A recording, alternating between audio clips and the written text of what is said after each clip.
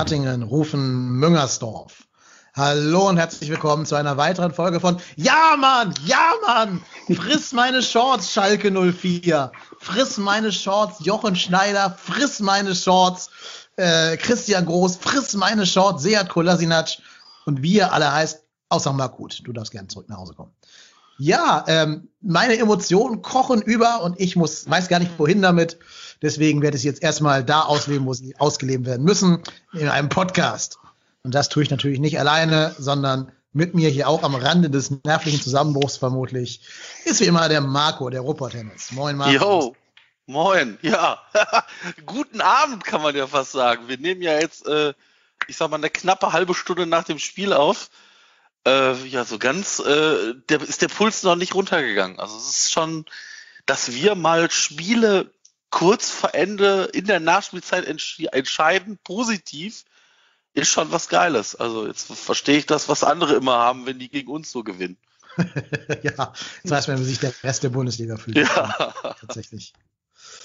Ja, gut, aber wir haben ja gesagt, ne, wir beiden ähm, alleine, das ist dann immer für den emotionalen Haushalt nicht ausgewogen genug. Deswegen haben wir uns wie immer eine dritte Person an Bord geholt. Und da hat uns der Sebastian geschrieben, dass er gerne mal hierbei sein möchte und haben wir natürlich sofort eingeladen. Deswegen ist der Sebastian da. Moin Sebastian, grüß dich. Hallo zusammen. Ja, vielen Dank, dass ich äh, heute Teil eurer elitären Truppe sein kann. Ja, sehr gerne. Und noch liebe Grüße an deinen Bruder, für den uns verraten ist, dass der auch hier gerne zuhört. Also, ja, lieber Bruder von Sebastian, fühl dich herzlich gegrüßt. Er ist glühender Anhänger und er ist gerade leise in das, in das Büro geschlichen und sitzt mir gegenüber. Und, äh,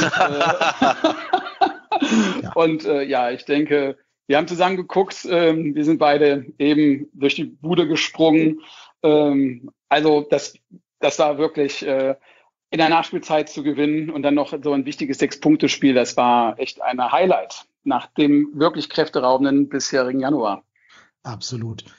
So, wir versuchen mal so ein bisschen trotz aller Emotionen, dass wir das jetzt nicht ähm, von hinten nach vorne aufzäumen, das Pferd, obwohl es ja bei diesem Spiel so einfach und naheliegend wäre, sondern wir machen es genau andersrum. Sprich, wir schauen mal auf die Woche zwischen diesem sehr fruchtlosen Spiel gegen Hertha äh, wer sich unsere, über unsere Einschätzung zum Hertha-Spiel informieren möchte, der kann gerne unseren YouTube-Kanal gehen. Ne, einfach mal bei YouTube nach trotzdem hier suchen. Und dort könnt ihr dann eine kleine Mini-Mini-Sonderfolge eben über das Spiel gegen Hertha BSC euch anhören. Ähm, aber das Spiel werden wir hier jetzt nicht groß besprechen, weil ganz ehrlich, in diesem Drittspiel gab es auch nichts zu besprechen. Und ich gebe es mal ehrlich zu, mein erster Downer vor dem Spiel jetzt gegen Schalke kam, als ich sah, dass die gleiche Aufstellung wieder zu erwarten war. Was habt ihr gedacht, als ihr Gistols Kadernominierung und dann später die Aufstellung gesehen habt? Also, okay, Marco. Ja, fang, fang, fang ruhig an, der Gast fängt an. Der Gast fängt ja, an. ich dachte mir, der Bus ist wieder im 16er geparkt mit fünf ähm, Spielern hinten, mit dem Easy, Cestic, Bono, Zichos und dann den Janis Horn. Da dachte ich mir, oh Mann, Never Change a Winning Team. Das war es aber nicht leider, das Motto. Es war, ich dachte mir, jetzt spielen sie auch wirklich gegen Schalke, die wirklich in ungefähr 33 Spielen, äh, 32 Spielen ein Spiel gewonnen haben, mauern sie sich hinten ein. Ich kenne das schon, Plätscher, Plätscher, Plätscher, 1-0 Schalke, dann plätschert weiter vor sich hin, 2-0 Schalke, Spiel ist durch, Abpfiff. Und genau das habe ich erwartet. Und teilweise war das ja so, weil ich will nicht vorweggreifen. Ich merke, ich äh, galoppiere voraus. Äh, ja, die Aufstellung, es hat mich ähm, ähm, ja, sehr, sehr, sehr defensiv äh, empfunden und dachte ich mir, ob das wirklich gegen Schalke, gegen diese, gegen diese ähm, doch etwas sehr, sehr ähm, schwache, mentale schwache Mannschaft doch gestört, zu defensiv, meiner Meinung. Ja, kann, kann, also ich glaube einfach, also ich meine, das Spiel gegen Hertha war ja auch ein Spiel zum, zum Vergessen. Ich meine, man hat einen Punkt geholt aber ich glaube, das war auch das einzig Positive, was man aus diesem Spiel rausnehmen kann. Das war mit Abstand eins der schlechteren Spiele, in denen wir überhaupt mal einen Punkt geholt haben. Also da, da ist nichts Positives hängen geblieben bei mir, außer dass wir mal zu Null gespielt haben. Und ähm, ich habe eigentlich mit mindestens ein, zwei Wechseln gerechnet. Ähm, habe zum Beispiel gedacht, dass das Drexler definitiv nicht spielen wird. Dass er dann gespielt hat, hat mich schon ein bisschen verwundert und ähm, ja, das, also die Aufstellung äh, war jetzt nicht so der, der Mutmacher für das Schalke-Spiel, weil davon auch nicht vergessen, die Schalker, äh, ist jetzt nicht so, dass die jetzt in den letzten Spielen die Sterne vom Himmel gespielt haben, aber nichtsdestotrotz haben die gegen Hoffenheim gewonnen und äh, mit, mit Hoppi oder Hoppe oder wie auch immer man den Stürmer da jetzt nennen möchte, äh, jemand drin, der da auch durchaus knipsen kann. Aber wir sind ja lange FC-Fans und wir wissen, wie das ist. Jede gute und jede schlechte Serie endet gegen uns. Also jede, jede schlechte Serie. Also ich wäre mir sicher gewesen, hätte Schalke jetzt die zwei Spiele noch verloren und wir wären die gewesen, dann hätten die gegen uns jetzt auf jeden Fall so, so, so ein Hoffenheim-Spiel gemacht, wo ja, das Spiel nur auf deren Seite das war ja wirklich, also die, die Hoffenheimer waren die bessere Mannschaft, die kontern rein und sowas. Das war schon glücklich. Aber ich bin auch froh, dass das weg ist, weil Tasmania hat es irgendwo verdient, äh, diesen Rekord weiterhin zu behalten, finde ich. Ja, und ich bin auch sehr froh, dass Schalke direkt nach dem Hoffenheim-Spiel gegen Eintracht Frankfurt spielen musste, die gerade diesen Jovic-Hype hatten, weil die haben dadurch den Schalkern komplett den Stecker schon wieder gezogen und die gar nicht erst in so einen, so einen Lauf reinkommen lassen. Also das war vom Spielplan her für uns, glaube ich, sehr gelungen, die Schalker jetzt zu haben und nicht letzte Woche oder gar eine Woche davor. Dann wäre es vielleicht irgendwie anders gelaufen. Könnt ihr mir erklären, was der arme Jorge Mire verbrochen hat, um gar nicht mehr im Kader zu sein? Also, nee. Also, das Spiel gegen, gegen wen haben wir denn so auf die Nase gekriegt vor Hertha? Freiburg. Äh, Freiburg. Freiburg. Freiburg. Freiburg. Aber ich meine, ich, ich, sag, ich sag mal so, da hättest du ja wirklich elf Spieler rausnehmen können bis zum nächsten Spiel. Also da hattest du ja nicht einen Lichtblick, nicht einen einzigen Lichtblick. Und ähm, ich persönlich, so ich, nee, ich persönlich vermute, dass wir vielleicht den nächsten Abgang da sich anbahnen sehen. Mhm. Weil was für einen Grund gibt es, Meret nicht mitzunehmen? Ja, dann ist nur die Frage, warum nimmst du ihn dann mit nach Schalke und streichst ihn dann aus dem Kader, bevor das Spiel. Vielleicht, weil ein, also ich meine, dieses 21 Spieler mitnehmen und dann einen an dem Tag streichen und nach Köln fahren lassen oder auf die Tribüne setzen oder was auch immer, ich weiß gar nicht, ob der im Stadion war ähm, oder auf der Bank sitzt, ähm, kannst du ja machen, wenn du vielleicht ein anderes, anderesweitig angeschlagenen Spieler hast und hoffst, dass der fit wird. Ich sage jetzt mal vorsichtig, wenn sich so ein Bornau nicht so gut fühlt und sagt, ich weiß nicht, ob das hundertprozentig passt und du sagst, Mensch, wir nehmen beide mit.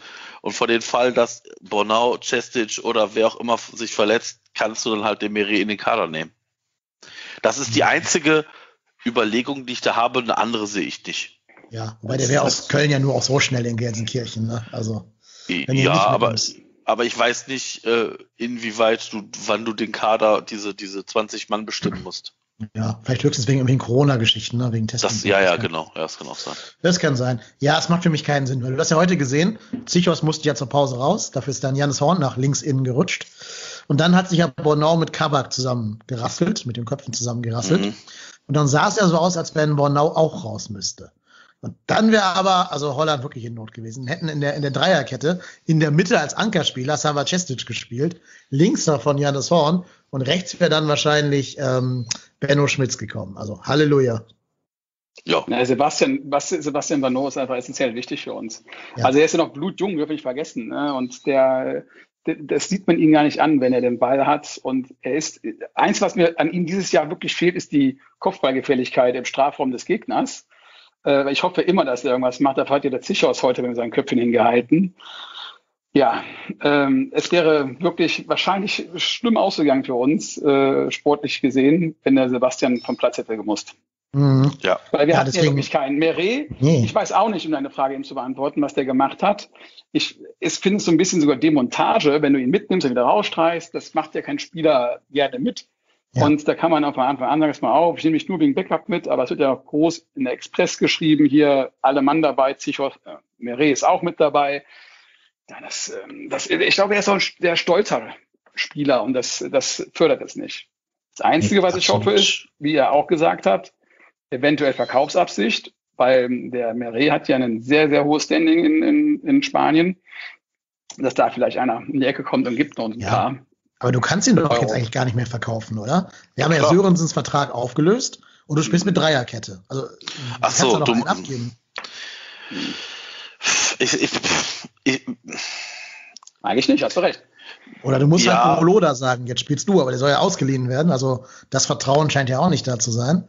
Also wenn ihr nicht dann irgendwie selber noch einen holen muss, der vielleicht billiger, aber genauso gut ist, wo ich jetzt keinen wüsste, äh, ja, was soll das dann? Verstehe ich nicht. Oder sagst ja. du halt wirklich, da spielen dann Janis und Benno links und rechts außen in der Dreierkette, was ich schon sehr fahrlässig finde. Stimmt. Ich glaube, da ja. bist du, glaube ich, mit jedem Menschen, der FC lieb hat, gleicher Meinung. Ey. Ja. Ja, stimmt, das ist, das habe ich ehrlicherweise noch gar nicht so auf dem Schirm gehabt, klar. Ja, aber das weiß ja, also keiner von uns sitzt hier am Geisbockheim und, und guckt Horst Held den ganzen Tag über die Schulter. Und äh, demnach, ähm, vielleicht ist es so, dass, dass da irgendwie auch man schon in Vorbereitung ist. Also ich meine, ich sage jetzt mal vorsichtig, wenn es so wäre, dass man dann sich einen Transfer anbahnt, dann hat man ja, ich sage jetzt mal vorsichtig, auch immer ein paar Tage Vorlauf. Und vielleicht hat man da schon einen möglichen Ersatz, aber das weiß ich halt nicht. Also das ist, andere Sache ist für mich eigentlich irgendwie nicht greifbar. Also ich, ich kann nicht verstehen, wieso Meret, ich sag mal, für das, für das Spiel ähm, in äh, Freiburg dann da so vor den Karren gespannt wird, weil wie gesagt, ich glaube, da hätte man andere Spieler. Ich meine, da dürfte ein Sali Özcan, glaube ich, gar nicht mehr überhaupt für den 1. ja, FC Köln oder spielen. Oder der erwähnte Benno Schmidt selber. Oder ja, ja oder genau, Benno Schmidt zum Beispiel. Ja, genau, genau. Also ich glaube da, also ich habe da auch äh, andere Spieler für, an dem Tag schlechter gesehen. Also das kann eigentlich nicht der Grund sein. Vielleicht ist er aber auch der angeschlagene Spieler. Mhm. Also vielleicht kommuniziert werden, oder? Da wird man doch sagen hier. Ja, aber also bevor man dir jetzt irgendwie so den Eindruck erweckt, dass der da gerade geopfert würde für das Debakel in Freiburg, würde ich doch sagen, der ist angeschlagen so. Ja, kannst ja einen Schutz ja. nehmen, der schönen Aussage. Ja. Ja, äh, schwierig. Also ich kann es auch noch nicht so greifen. Ähm, ja. Wir bleiben gespannt. Wenn die Transfer-News irgendwann kommen sollten, dann wissen wir, okay, da hat es gelegen. Wenn er ja. noch hier ist am ersten, zweiten, dann habe ich die Aktion nicht verstanden. Ja, ja, aber vielleicht, vielleicht ist es ja auch so ein Ding, was so, ich sag mal, so in der Schwebe ist. Ne, dass du halt sagst, Mensch, ähm, ich sag jetzt mal vorsichtig, der Mateta hat ja auch nicht äh, gestern für, für äh, Mainz gespielt, weil sich eventuell da ein Wechsel irgendwie nach England anbahnt. Der ist fix, aber das heißt, der Wechsel. Ist fix? Ja, okay, ja, ja. habe ich noch nicht, habe ich heute noch nicht mitbekommen. eineinhalb Jahre ausgeliehen. Oh, schön. Dann, ähm, dann, ist eine verpflichtende Ablöse, ich glaube, von 15 Mio fällig. Oh, ja. oh Mensch, viel Spaß. Kriegen ihn aber erst zum Aufstieg nächstes Jahr dann. ja, hoffentlich. Ja. Also von mir ist der Aufstieg in die, in die zweite Liga wieder, wenn sie ja. dann nochmal absteigen. Ja, aber, aber, aber, jetzt, jetzt genug von Meres und von Mainz. Lassen wir jetzt hier über dieses Spiel reden, weil das Spiel also das, darf uns jetzt nicht ablenken. Wir müssen über dieses Spiel reden. es ist mir ein Herzensbedürfnis, über dieses Spiel mit euch zu reden. Ja, sehr gerne. So, das Spiel kann man, glaube ich, in so, boah, vielleicht vier Häppchen unterteilen, kann, würde ich sagen. So, das erste war quasi vor dem 1-0, so diese, diese Phase, ja, wir tasten uns ein bisschen ab, ne? Keiner weiß, wer hier, wie schlecht der andere ist, quasi. Ähm, mal gucken, was so geht. Torchancen aus dem Spiel raus, boah, weiß ich nicht. Nicht so viel. Aber ich finde, wir haben uns dann so ein bisschen in das Spiel reingearbeitet durch Standards. Mhm. Ne, wir hatten irgendwie so eine, so eine Serie, so eine Kaskade von Standards, vier, fünf Stück in ganz kurzer Zeit, wo jedes Mal so das Gefühl hattest, ja, könnte gefährlich werden. Hier, der, die Schalker wirken da nicht so sattelfest bei eigenen Standards. Ich meine, die hätten noch sehr, sehr viele Tore eben schon nach Ecken und Freistößen gegen sich bekommen. Ähm, und du hast halt gemerkt, wir haben mit Duda natürlich einen sehr, sehr guten Freistoßschützen. Da gab es ja einmal diesen Freistoß, den dann so ganz lange auf den langen Pfosten schlänzt. War, glaube ich, 24. wo dann der Fährmann da sich schon sehr lang machen muss, damit er drankommt. Skiri wäre einmal fast an irgendeine Ecke rangekommen oder irgendein Freistoß oder irgendwas, wäre fast nur ein Tor gewesen. Ja, na, du hast schon gemerkt, wenn hier was geht, dann über Ecken. Ja, und eigentlich genauso kam es ja auch. Ne? Ähm, da möchte ich euch eigentlich nicht vorenthalten, was die elf Freunde in ihrem äh, Live-Ticker zu dem Spiel geschrieben haben. Die haben geschrieben, ein Tor, das dieses Spiel beschreibt wie kein anderes Tor. Typ schießt aus 30 Metern meilenweit daneben, trifft das Gesicht vom Mitspieler. Typ auf Linie will klären, haut sich den Ball selber rein. So mehr oder weniger. Denkt dran, ist elf Freunde, ne? Die ja, ja, ja, ja, ja, ja, ja, ja, ja, ja, ja, ja. Äh, ja, also ich, also ja, also das war jetzt auch kein, also ich sag mal, das war jetzt kein rausgespieltes Ding. Aber du setzt das, das war jetzt das zweite oder dritte Mal. Also wir haben ja bei diesen, bei diesen Ecken nacheinander sind diese Ecken immer entstanden dadurch, dass wir nicht direkt, also entweder direkt die Ecke danach, also Ecke kommt rein, Schalke köpft den Ball raus, nächste Ecke, oder Schalke spielt den, will den Ball rausköpfen und daraus entsteht nochmal eine Flanke von außen in den Strafraum und dann ist der Ball draußen. Und das war ein Ding. Der Punkt, der zu diesem Tor geführt hat, ist nämlich, dass Skiri vom Ball wegbleibt. Weil Drexler und Skiri gehen beide zum Ball, Drexler aber mit Blick Richtung Tor und Skiri mit dem Rücken zum Tor. Und Skiri sieht, dass Drexler an den Ball kommen kann und geht einen Meter weiter nach rechts und gibt Drexler damit die Chance zum Flanken. Und das ist ganz entscheidend dafür, dass, und ich glaube, diese Flanke von Drexler sollte genau dahin.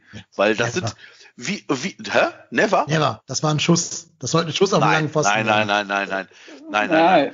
Also ich bin bei Marco. Ich habe mir auch lange das angeguckt, öfters. Es sah aus, als wenn da vielleicht das abrutscht, ne? Aber der hat, der Blick war ja gar nicht so richtig auf dem Tor, sondern er war ja schon auf den, auf den zweiten Pfosten wieder gerichtet. Ja. Und ich glaube, er wollte genauso äh, wie Marco das denkt, also das ist wirklich meine Meinung dazu, ne? Scharf reinspielen und das natürlich dann diese Kopfball-Sachen dann auf der, stehen mal zwei Leute auf der Linie und dann das auch ins eigene Tor abfälscht. Traumhaft. Also ich, ich glaube, dass er, weil, weil ganz ehrlich, wie, also diese, diese Konstellation, dass, dass äh, Drexler da von außen so, so reinflankt und das genau an dem Pfosten Schicher spielt, das hatten wir in der zweiten Liga drei, vier Mal nach so Ecken. Und das, also natürlich ist das jetzt nicht genauso gewollt gewesen, aber ich glaube dass nicht, dass das ein Schuss ist.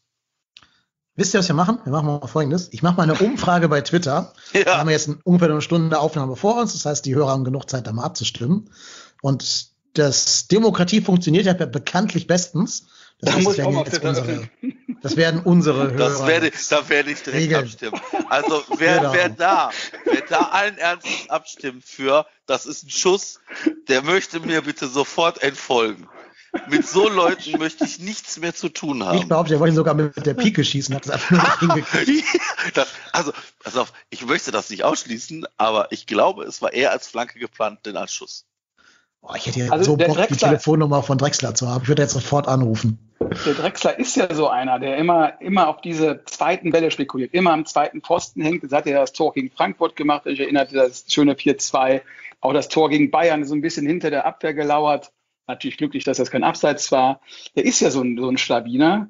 Und da das Tor ja wirklich, das war wirklich so voll, ich hatte ja wirklich echt den Eindruck, dass er das, das, ähm, dass, dass seine Intention war. Aber machen wir die Umfrage, mal gucken, ja. was, äh, was uns so. äh, die Leute. Die, die Vorlage von melden. Rex zum 1 zu 0, Punkt, Punkt, Punkt, war so gewollt.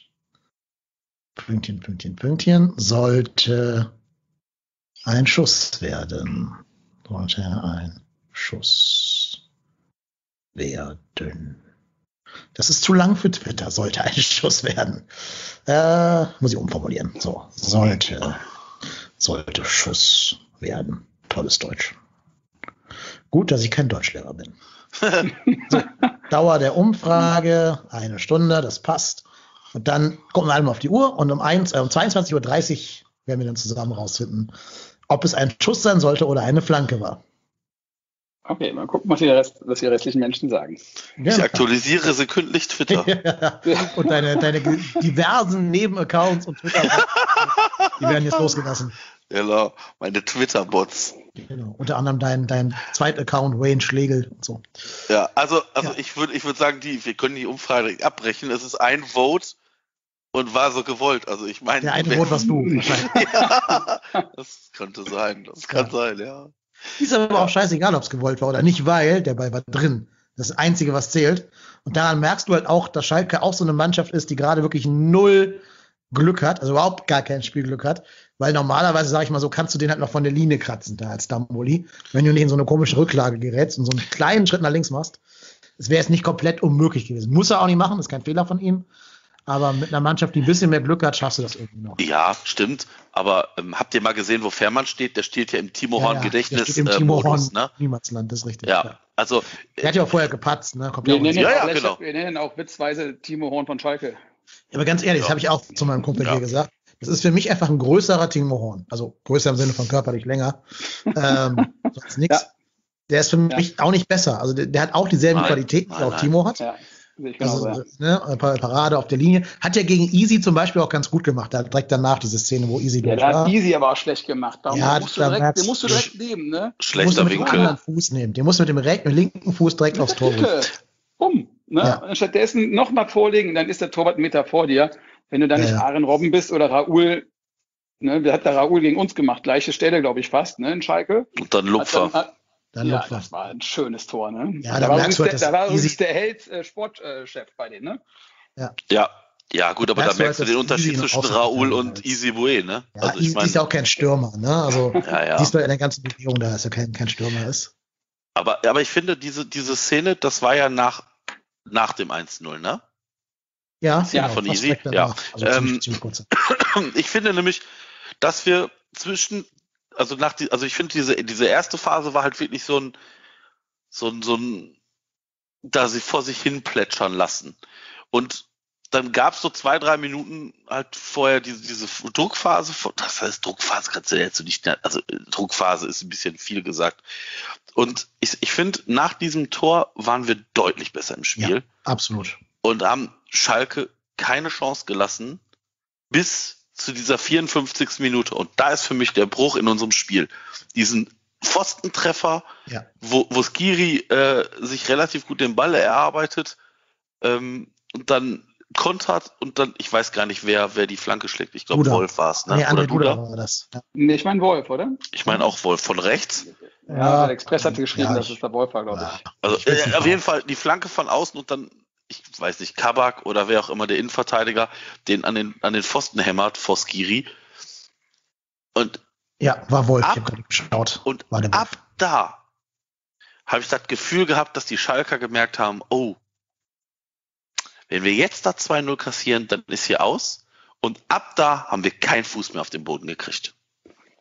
Ja, weil direkt nach dem Alu-Treffer hat ja Harid diese Riesenchance, wo Timo Genau. äh, den Ja. hält. Ne? Ja. Und dann kommt ja fast direkt das Tor, das ist das von Hoppy oder Hoppe oder wie der Mann heißt, Hoppe, ja, Hoppi, Hoppe. wo wir ja auch sagen müssen, das Tor hat ja mehr der erste FC Köln gegen sich selber geschossen, als dass die Schalker da. Ja, Grausam. ne? ja, also das war so ein Tor, das kriege ich auf der Playstation, wenn ich bei FIFA den Legendenmodus einschalte. Also die höchste Schwierigkeitsstufe. Dann krieg ich so ein Tor. Dann ist nämlich die AI so programmiert, also die KI so programmiert, dass sie immer so einen Meter weggeht vom Ballführenden, damit du auf jeden Fall Tore frisst, weil soll ja schwer sein. Ähm, genau so ist das gewesen, dieses Tor. Also dann rennen sich hier Chestic und ich glaube Skiri noch über den Haufen gegenseitig. Erst macht ich der Hector, der Hector will klären, schießt Ja. den Schalke an den Fuß, dann nimmt er so genau zwischen den beiden Innenverteidiger. Und da sieht es wirklich auch stattdessen dann erzählt sich, das ist so ein bisschen, da zahlt er gerade sein Lehrgeld, finde ich immer wieder. Ähm, dann will er mir den Mann sperren, als, äh, als den Ball zu klären. Und dann rollt der Ball dann über um, Umwege zum, zum, zum, zum deren Goalgetter aktuell, zum Hüppe oder Hüppi, wie der heißt. Und der schießt dann aber auch glücklich zwischen Hand und Bein durch. Nein, ne? nein, nein, nein, nein, nein. Gewollt? Nein, nein. Das Neuer, ist ein gewolltes Ding. Das ist ein, ge- also den, den, also pass auf, Timo Horn gibt ihm genau die Möglichkeit, da vorbeizuspielen. Der guckt Das gar ist- nicht, der guckt nur auf den Ball. Das ist das Nein, nein, nein, nein, nein, nein. Ja, das mag eine Intuition sein, aber Timo Horn hat in dem Spiel sehr viel gute Dinge gemacht. Aber das Dingen kann man als Torhüter besser halten. Timo Horn macht wieder das Timo Horn Gedächtnisding. Der konzentriert, der geht auf eine Seite, macht eine Seite breit und eine komplett blank. Ja, das ist typisch. Der geht wieder auf das Knie runter und also Er macht, Also- irgendwie linke, er macht die linke Seite immer auf. Ne? Das ist ja- Genau. Und das ist, ich weiß nicht, wie oft, der, der knickt so dieses, das, das linke Bein, ne, knickt der so ein, so nach innen. Und damit hast du halt auf der Seite kein, also wenn du, wenn du dich da hinstellst, ich sage jetzt mal vorsichtig, breitbeinig, da kannst du den durch die Mitte kriegen, ja, oder so, ich sag mal so, weiß ich nicht, so in John Wayne Gedächtnisstellung, Füße unten ein bisschen zusammen, dann kannst du den nicht mehr durch die Beine kriegen und die Arme auf beiden Seiten breit machen. Dann kriegst du dieses Tor im Leben nicht. Im Leben nicht. Ja, aber Ja, es waren halt also- zwei Timo Horns auf dem Platz heute. Und, äh, Ja. Ja, ich will jetzt aber auch nicht das Tor an Timo Horn festmachen. Nein, nein, nein, aber ja- aber den kann er Wir haben vorher so viele andere ein von uns da Mist Unrecht. gebaut. Natürlich, Ja, natürlich. Also das Ich, war. ich finde auch Timo hat uns mit dem Sieg heute festgehalten, muss ich schon ganz ehrlich Auf jeden sagen. Fall. Also der Schuss von Uth und der andere von Harid, den, oder wer das war, muss auch mal halten.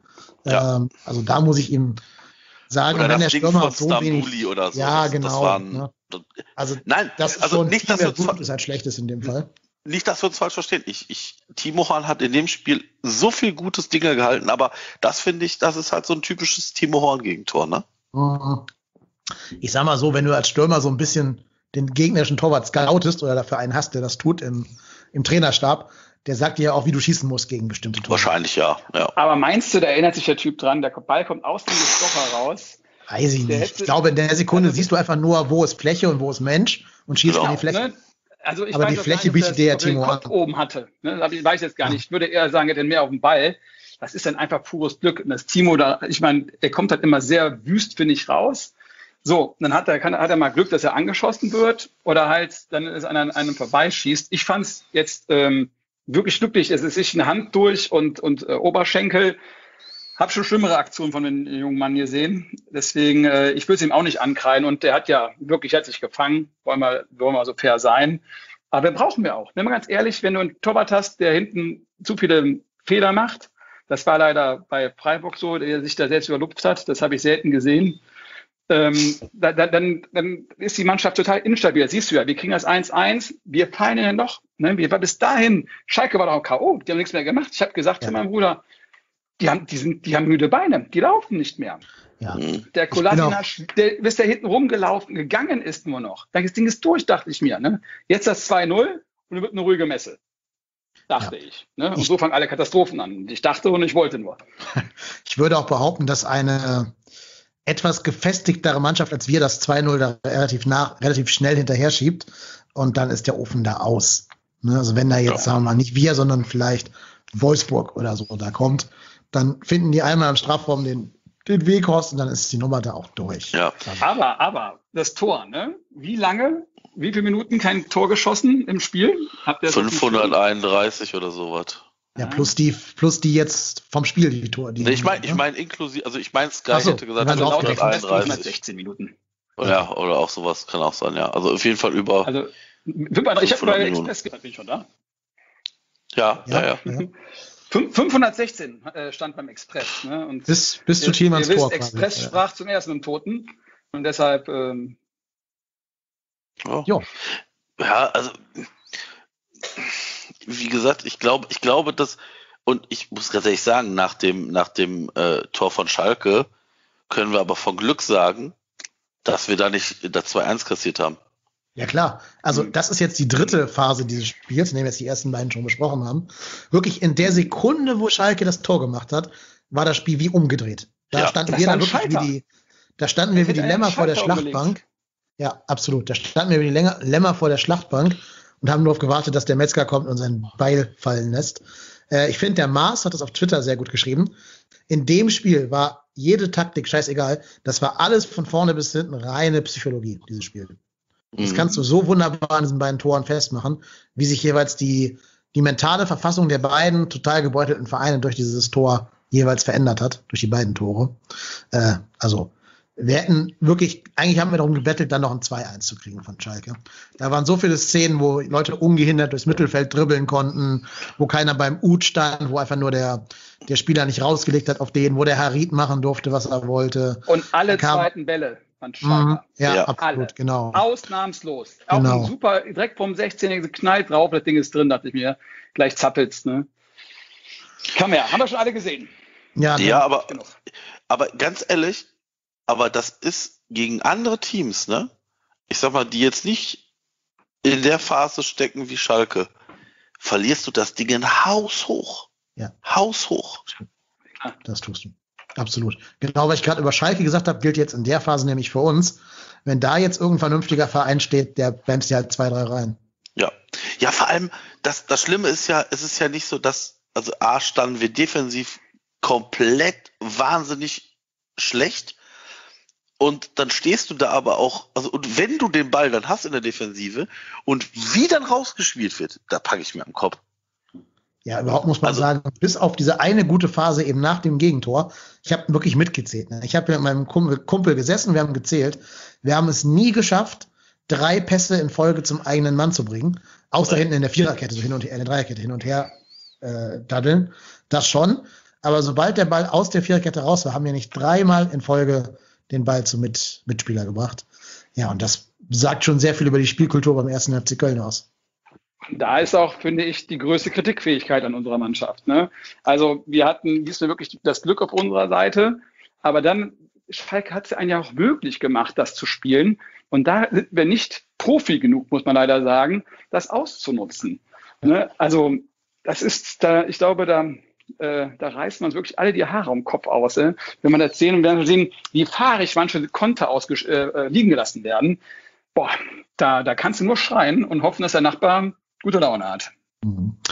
Danach kam ja dann dieser Dreifachwechsel von Schalke, ne? Rahman rausgenommen für Bujelab. Kolasinac musste verletzt runter, der hat sich bei dem Schuss ja anscheinend da irgendwie den ja, Muskel, der, oh, der war platt.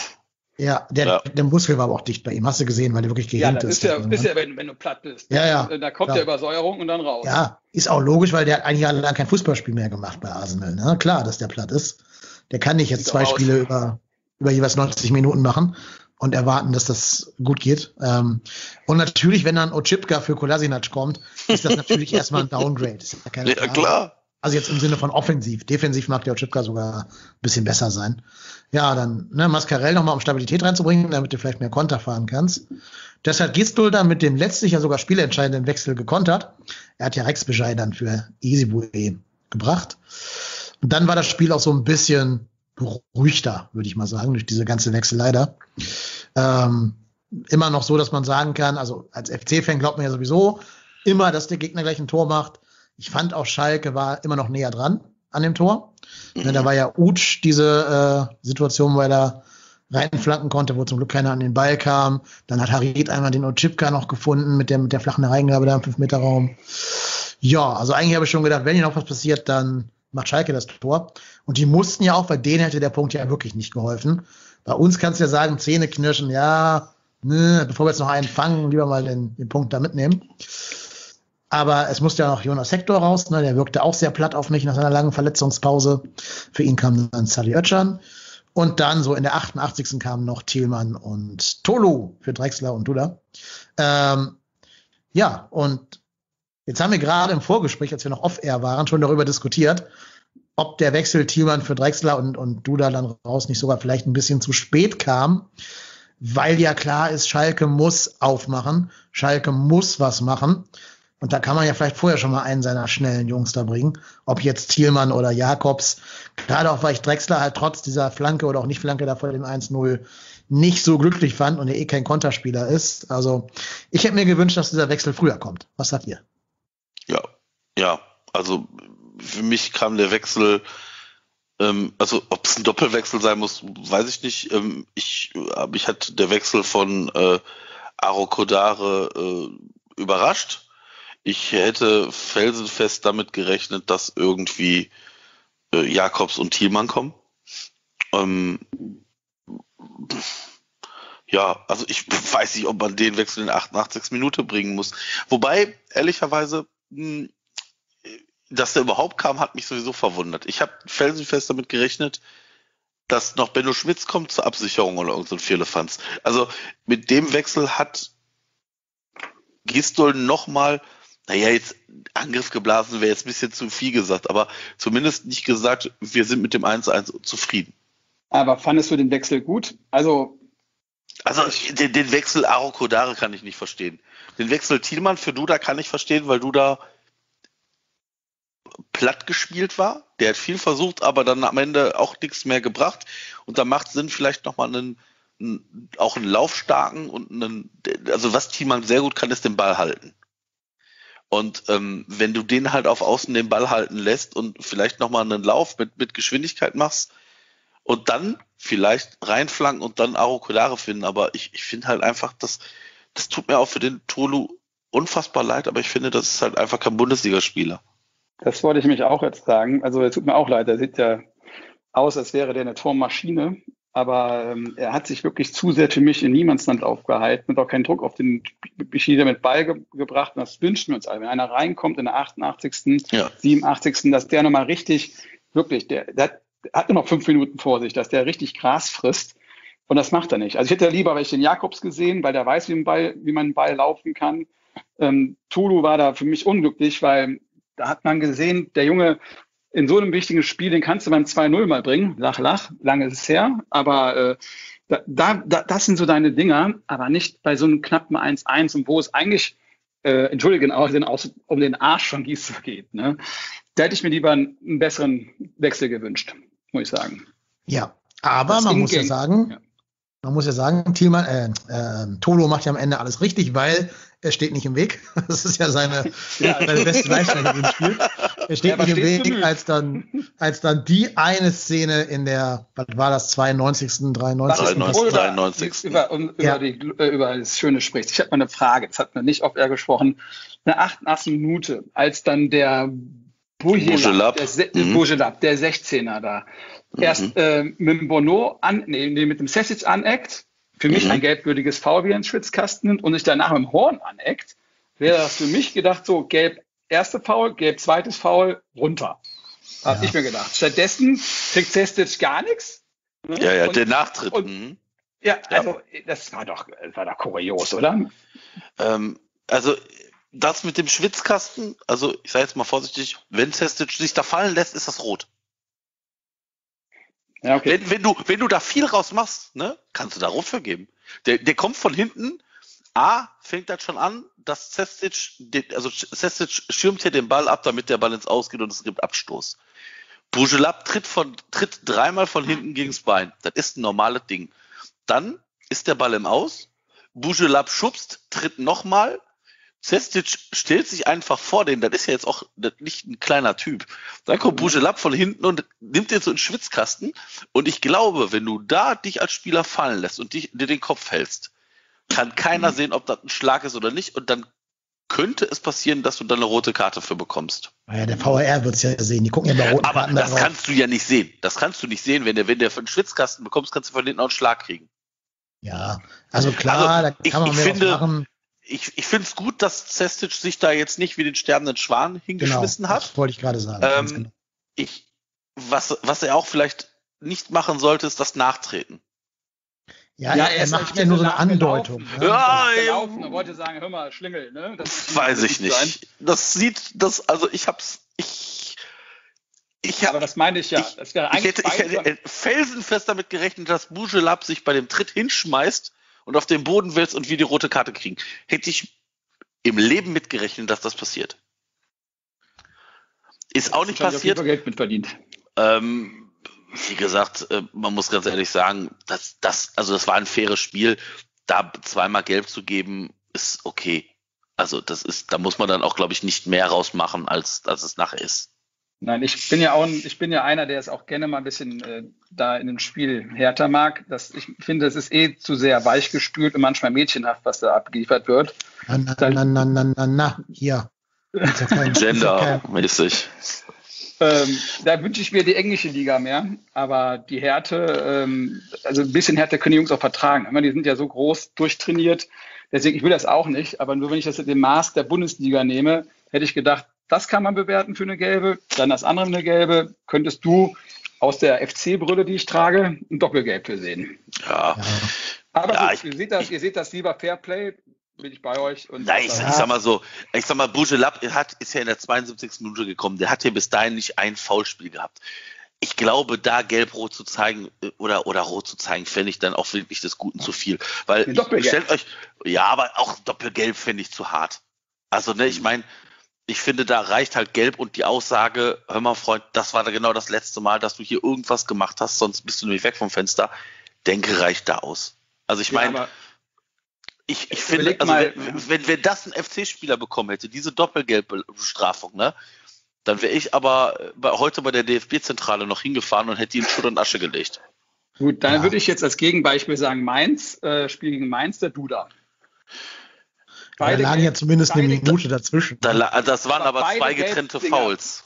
Ja, ja, aber beide gelb waren, äh, es waren ja auch zwei Fouls, meiner Meinung nach. Oh. Beide gelb, beide gelb, ähm, fand ich beide so, boah, musst du nicht geben.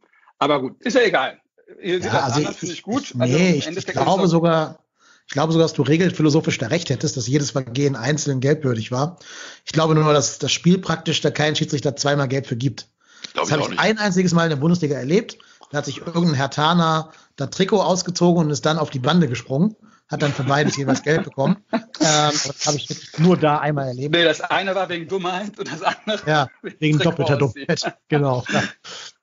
Also das sieht man, was Fußball macht, Emotionen manchmal löst. Ne? Dass selbst die Spieler wissen das, dass sie das nicht dürfen. Es gibt Gelb und dann machen die die Bude und dann ziehen sie sich aus. Ja, vor allem, ich glaube halt in so einem Schicksalsspiel, wo du ja weißt, so Abstiegsendspiele und so, da willst du ja vielleicht auch nicht noch als Schiedsrichter jetzt in den letzten zwei Minuten das Ding komplett eskalieren lassen. und sagst ja. dann hier Gelb für den und für Janis Horn und gut ist. Ja, ich, ich glaube, das war auch, der, also ich, ich glaube, da, wie gesagt, das war, das war ja jetzt kein Spiel, was irgendwie über Treterei irgendwie aufgefallen ist. Nee, und, und ne, demnach, ja. demnach ist das völlig legitim zu sagen, hör mal, da beide gelb und so, Jungs, das war's jetzt und weiter geht's. Und also deshalb ist ja, auch so, so, dass ich das so schlimm fand, also in schlimmen Anführungszeichen, ähm, weil es so fair war und dann in wirklich in dieser Situation, dass zweimal nacheinander kamen, dachte ich mir, oh, das ist dann, fällt dann schon ein bisschen auf. In dem das stimmt, ja. Spiel. Was ich übrigens sehr gut fand, war in dieser, in dieser Szene, da gab es so, so, ein kleines Mini-Rudel danach, ne, so im, im Elfmeterraum irgendwo. Da kommt ja dann der Bornau und nimmt sich den Janis Horn wieder ja, ja, ja. und zieht den zur Seite. Und zieht den weg oder hebt den quasi schon weg. Und das fand ich echt eine gute, gute Aktion von Bornau, weil das zeigt mir, dass er auch einen coolen Kopf da hat. Dass der ja. jetzt zum, zum Janis Horn gesagt hat, ey Digga, beruhig dich, sonst kriegst du gleich doppelt, kriegst du gleich doppelgelb hier oder irgendwie Tätigkeit ja. oder sonst irgendwas. Äh, und dann geht der runter am 16, dann kriegt ja. er Elfmeter.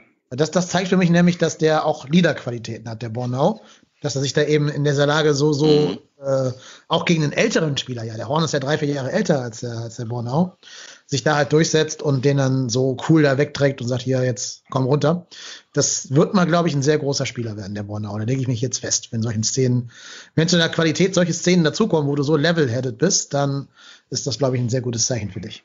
Ja. Würde der, würde, würde noch so netzen wie letztes Jahr. Ja, aber dann wäre der weg. Lass den mal nicht ja, treffen.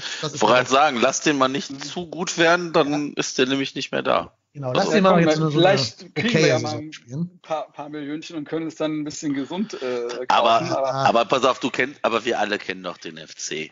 Dann, ja, dann kriegen wir für den, dann kriegen wir für den, ich sage jetzt einfach mal 10 Millionen Euro. Und die geben wir, die geben wir dann in äh, Joao Kerosch 2.0 aus. Da holen wir dann Sammy Kedira und den falschen Schlotterbeck-Zwilling oder sowas. Und ja, dann, genau. Den dritten Schlotterbeck-Zwilling, ja. der äh, zwei linke Füße hat. Ja, genau. Genau. Ja, ja, ja. ja. Oder holen irgendeinen Spieler zurück, der freundlich gefragt hat. Ja, genau. Irgendwie sowas. LP10. Äh, aber, aber, jetzt kommen wir zum Höhepunkt. Genau. Ja, ganz kurz. Eine Sache will ich vorher noch sagen, bevor okay, wir zum Höhepunkt ja. kommen, weil wir gerade ja bei diesen ganzen gelben Karten und so waren. Da wollte ich nur mal erwähnen, wie sacknervig es ich Amine Harid finde. Oh, Weil ja. das ist genau der Spieler, der sich fallen lässt und da rumbrüllt wie so ein, ja, als wenn ja, ein Elefant auf deinem Fuß steht. Da gab es ja diese Szene gegen Easy Boe, das war ja, kein Foul. Ja. Das war kein Foul. Aber der schreit halt so laut, dass der schließlich drauf reinfällt. Und dann steht Easy da wieder wie der größte Idiot da, weil er ihn gefault hätte angeblich. Und wenn aus dem Freischuss noch ein Tor dann äh, gefallen sein sollte, ist Easy wieder der Vollidiot.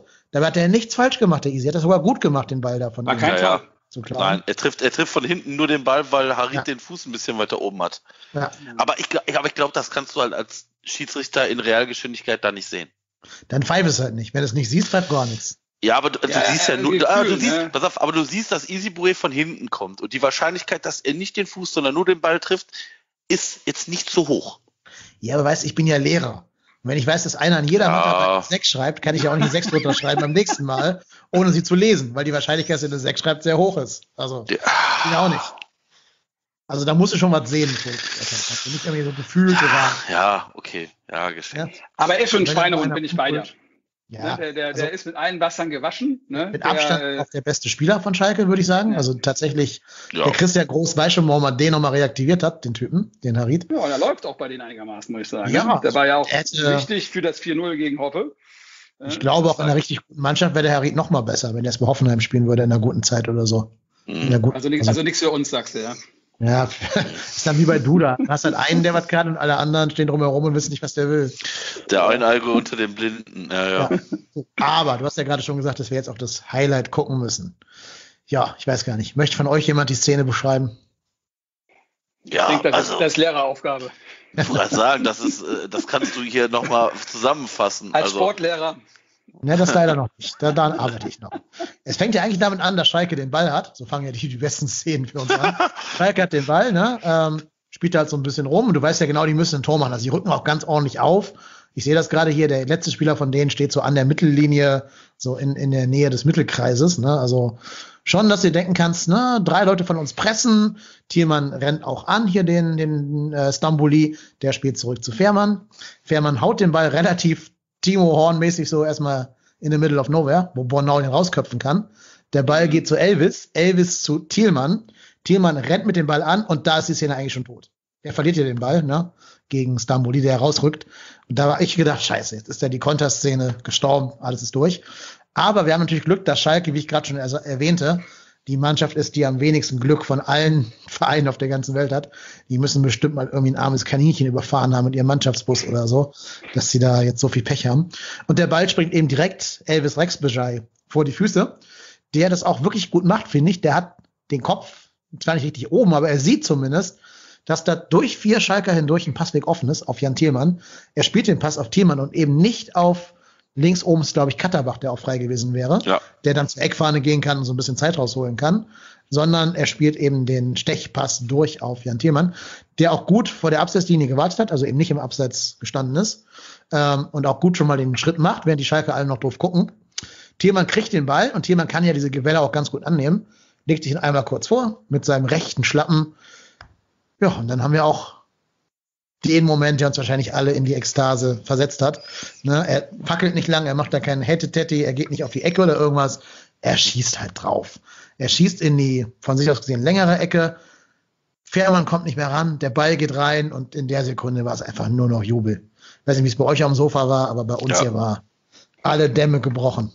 Ja, aber ja. immer, immer bei jedem Tor, ob für oder gegen uns, freue ich mich, denke ich, oh, nicht, dass auf der Videobeweis noch was sieht. Ne? Ja. Und dann ja. ist das ist so, so eine richtige Bremse. Ähm, und dann dachte ich mir, warte, warte, warte, wir müssen gucken. Und dann kam halt die Wiederholung und sage er war nicht im Abseits und dann konnte ich mich richtig freuen. Äh, okay, ich gebe schon den Gedanken, hatte ich echt null. Da habe ich in der Sekunde überhaupt nicht dran gedacht. Gar nicht. Auch null. beim Zichos. Ich habe nicht gesehen, nee. dass da drei Spieler hinterm Zichos noch standen, also noch näher zur Tor. Ich sah nur den, den Fährmann, wieder weit vorne stand. Da dachte ich, oh nein, es war nur einer hinter der Linie. Dann ist es Abseits. Boah, aber erst, also da bin ich halt auch ähm, zu, ich hatte, nein, zu ängstlich, aber hat geklappt. Nö, also das, also bei dem Tor habe ich das auch, also bei dem, bei dem äh, Chichas Tor habe ich auch irgendwie gedacht, da wird jetzt irgendwas wieder abgepfiffen werden, bestimmt. Aber bei dem Thielmann-Tor, der ist ja, ich sag mal jetzt vorsichtig, ganz klar nicht im Abseits. Also der, der, der ist ja so weit, also nicht so weit vom Abseits entfernt, aber er steht ja doch schon deutlich klar äh, ich sag mal, vor, die, vor seinem Gegenspieler und startet dann durch, als der Pass kommt. Und ich glaube, er orientiert sich ja so ein bisschen rechts an den Strafraum, weil ich glaube, es war auch Laps Platz, da nämlich nicht steht. Und ich glaube, es war Becker, der da auch nicht richtig steht. Ja, und dann, dann hast du halt da den Platz, weil Schalke halt aufgerückt ist, die stehen da nicht sortiert. Thielmann geht genau dahin, wo keiner ist und lässt dann Fährmann auch einfach keine Chance. Mit einem guten platzierten Schuss. Das kann man nicht anders sagen, ja. ja. Da kann sich der, ähm, der Marius Wolf eine Scheibe abschneiden, der ja wirklich die, die, die geilste Statistik war 23 Torschüsse, 0 Treffer. Hm. Das, äh, und er schießt, er, der Wolf will immer genau in den Knick und sowas, der will immer ganz genau und der Thielmann denkt sich so, ach komm, 85 Prozent reichen quasi beim Fährmann auch. Und ein strammer Schuss, nicht mal ganz, ich stecke dich eben Posten ein, ne? Aber das reichte und genau das reicht, ne? Bei, bei, bei, bei, bei den Spielern. Ach, Glück, Glück, glücklich, ja. Friede, Jubel. Absolut. Und zum Glück war das ja auch so spät, dass du nicht denken musst, die machen jetzt noch einen, die Schalker. Ne? Also, ja, da werden wir also, auch den früher, weiß ich nicht. Den habe ich doch, also ich habe trotzdem noch, ich habe gedacht so, äh, ganz ehrlich, ich meine, es waren ja sechs Minuten Nachspielzeit angezeigt, ne? Da habe ich gedacht, der ist ja das der Treffer ist ja relativ zu, zum, zum, äh, ich sag mal, zum Anfang der, der dritten, der 92 plus X, also, ne? Und dann habe ich gedacht, alles klar, dann ist angepfiffen worden, da war 93,05 oder irgendwie so ein Vier, das war, oder 93,07 oder was auch immer. Ich habe felsenfest damit gerechnet, dass der auch noch länger nachspielen lässt. Als ja, nämlich, äh, weiß ich nicht, in der 96. Minute da irgendwie der Ball bei Fährmann war und das, ich glaube ich, Abschlag oder irgendwie sowas, Abseits. Da pfeift er ja das Spiel an und pfeift es direkt ab. Und da habe ich gedacht, oh nee, das ist kein Abpfiff. Also da habe ich echt damit gerechnet, dass die nochmal so 97. Minute und das ist, ich habe ich hab felsenfest mit nochmal so weiß ich nicht, Hoffenheim-Downer so in der wirklich allerletzten Sekunde gerechnet. Ja, dafür fand ich Schalke einfach insgesamt viel zu schwach. Selbst in der Phase, wo die eigentlich hätten ein Tor machen müssen, waren die ja zu doof. Die haben ja so oft auch, wie wir ja auch, den letzten Pass dann in den Bein, in das Bein des Gegners gespielt und so. Also das stimmt. Die Sorgen stimmt. hatte ich halt echt nicht. Wenn da jetzt so ein Hunter noch gekommen wäre, dann hätte ich gesagt, jo, oh, jo, jo, jo, das stimmt. Aber der war ja zum Glück gar nicht im Kader. Und ich finde auch sehr gut, also dieses Spiel hat für uns so viele so positive Nebeneffekte. Nicht nur jetzt rein punktetechnisch, dass du Schalke halt da komplett in den Keller geschossen hast. Auch die Art und Weise, die war sogar für uns, glaube ich, wichtiger, so zu gewinnen gegen Schalke, ja. um die komplett zu demoralisieren, als wenn du einfach nur da relativ entspannt irgendwie 1-0 das über die Zeit schaukelst. Also dieses Last-Minute-Ding ist ja so ein totaler Downer. Damit hast du jetzt endgültig auch jeden Trainereffekt sofort verpuffen lassen, der vielleicht durch dieses 4-0 gegen Hoffenheim da hätte entstehen können. Also sowohl Schalke als äh, sowohl Frankfurt als auch wir haben es ja geschafft, da gar keine Euphorie aufkommen zu lassen. Äh, dann ist noch Kolasinac jetzt verletzt. Ähm, natürlich wünsche ich dem mal nichts Schlechtes, aber aus der Kölner Sicht würde mich ja. nicht ärgern, wenn er ein bisschen länger ausfallen würde. Ja, so ein schöner Muskelfaserriss ja. täte mir jetzt nicht. Äh, Nichts Schlimmes, Bündel, ne? Bündel. kein Sportinvalide werden, aber. nee, genau, schöner Muskelbündelriss. Ja. ja. Der Hunter scheint ja auch kaputt zu sein, der konnte ja auch nicht spielen, hat auch so eine Wade irgendwie. Also, ähm. das ist halt der Nachteil, wenn du als Spieler im hohen Alter oder mit sehr wenig Spielpraxis dir besorgst, nur weil sie mal früher in Schalke gespielt haben, die sind dann nicht so, dass sie da komplett fit wären, beide. Ähm, ja, und so muss man halt sagen, mega geil gelaufen für uns in der kompletten Kombi. Du hast auch an der ganzen Körpersprache von Fährmann und so weiter gesehen, das hat die jetzt echt kaputt gemacht. Ja, na klar. Das, ganz ehrlich, das ist ja auch wirklich ein Downer. Also ich meine, jetzt, ich sage jetzt mal vorsichtig, Schalke war an die, in dem Spiel den drei Punkten bis zur 93. Minute deutlich näher als wir. Ja. Das muss man, das muss man bei allem, bei aller Euphorie voll sagen, das ist kein Spiel, was wir groß dominiert haben oder was auch immer. Das haben wir vielleicht mit ein bisschen Glück gewonnen. Aber vielleicht tut uns so ein bisschen Glück ja auch mal ganz gut. Also ich meine, wir haben auch in der Saison schon so viele Punkte gehabt, wo ich gedacht habe, so das kann doch nicht wahr sein, wieso, wieso wir? Ich meine, so diese, dieses, dieses Spiel gegen Augsburg, wo du, wo wirklich zwei grottenschlechte Truppen gegeneinander spielen und du so ein scheiß Gegentor dir fängst. Und das hättest du wahrscheinlich auch sonst 0-0 wie gegen Hertha gespielt. Und dann sind es halt drei Punkte für den Gegner und null für dich. Also ich meine, das, das ist schon bezeichnend, dass wir das jetzt gewonnen haben, ja. Ja. Jetzt muss ich nur ein bisschen Wein, nee, Wasser ins, in den Wein gießen. Leider führt Bielefeld gerade 2-0 gegen ja. Oh nein. Ja. ja, das wäre halt so die, die Kirsche auf der heutigen Sahnetorte, wenn Bielefeld verlieren würde, weil dann wären wir weg von diesem vermaledeiten Relegationsplatz. Ähm, Bielefeld hat natürlich trotzdem noch Druck auf den Kessel, Hertha auch. Und ähm, ja, das sind, glaube ich, so die, die fünf Mannschaften, die es unter sich ausmachen werden. Ich weiß nicht, ob da noch, ja, Bremen hat drei Punkte mehr als wir, die sind auch noch mit drin, okay. Ja, aber die sind ja, ganz ehrlich, also das sind ja alles Trum, also Truppen, gegen die wir da spielen. Trümmertruppen, ja, auch das, auch das. Aber nochmal, wir spielen jetzt gegen das Spiel gegen Hoffenheim am nächsten Spieltag und danach haben wir das Spiel gegen Bielefeld und dann spielen wir, gut, dann, danach wird's, danach wird's bitter, dann spielen wir gegen Gladbach, ich glaube Frankfurt und Bayern oder sowas, ne? Mhm. Ähm, und ich glaube, diese, Let diese Spiele jetzt gegen Hoffenheim und ähm, gut, die Hoffenheimer haben jetzt gegen Hertha sich auch wieder gefangen, aber das heißt ja nichts. Also bei Hoffenheim weißt du ja auch nicht, was dich erwartet. Also entweder ist das eine Truppe, die, die gut spielt, wie jetzt, also gegen Hertha haben sie es auch nicht gut gespielt, aber 3-0 gewonnen. Oder, oder, oder wie hier gegen Schalke lässt sich von, von, von wirklich ne, dem, dem allerschlechtesten Schalke der letzten Jahre 4-0 auseinandernehmen. Ähm, Achso, Hoffenheim. Ja, ne, also Hoffenheim, genau. Hm. Und da denkst du dir so, ja, was willst du denn? Also das ist ja jetzt auch nichts, wo du jetzt unbedingt verlieren musst. Also vielleicht, vielleicht ist das wieder ein Spiel, was uns diesen, also der FC ist ja ein Team, wo du, wo gefühlt du immer so diesen positiven Effekt haben musst, damit es wieder ein bisschen läuft. Das haben wir, das haben wir nach dem Spiel, also witzigerweise müssen wir immer auswärts bei irgendwelchen Ruhrgebietsmannschaften spielen. ähm, leider haben wir davon nur zwei in der Liga. Also wir haben 2-1 in Dortmund gewonnen, wir haben 2-1 in Schalke gewonnen und das waren immer so Spiele, die vielleicht so einen Wendepunkt auch darstellen und auch irgendwie gefühlt Endspiele für Markus Gistol sind.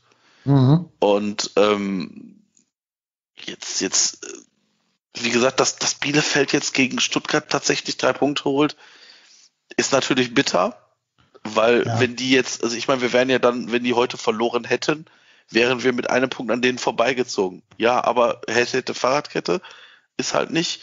Das heißt, wir müssen jetzt gegen Hoffenheim gucken, dass wir da vielleicht irgendwo Punkte holen, Punkt, einen Punkt oder Punkt T holen. Und dann im nächsten Spiel gegen Bielefeld müssen wir halt einfach zeigen den Bielefeldern und, und auch, ich sag mal, auch diese, diese Schmach aus dem Hinspiel einfach wettmachen. Und wenn, ich sage jetzt mal vorsichtig, ich gucke jetzt mal, ich weiß nicht, gegen wen Bielefeld nächste Woche spielt, keine Ahnung, oder jetzt am Wochenende spielt, ähm, die spielen gegen Frankfurt. Hm. Das, äh, da müssen, da müssen auch nicht oben Fall, da können, da kann auch eine Niederlage für Bielefeld drin, drin sein. Und dann stehst du halt mit dem Spiel in, gegen, in, gegen Bielefeld, ähm, kannst du das halt wieder drehen. Da kannst du dann halt nach mit dem Sieg, könntest du mit einem Punkt an denen vorbeiziehen. Luka Jovic, ich glaube an dich. Ja. Muss, musst du aber auch. Hertha und, und ähm, Bremen spielen ja gegeneinander am ersten Spieltag der Rückrunde, also am 18. Spieltag.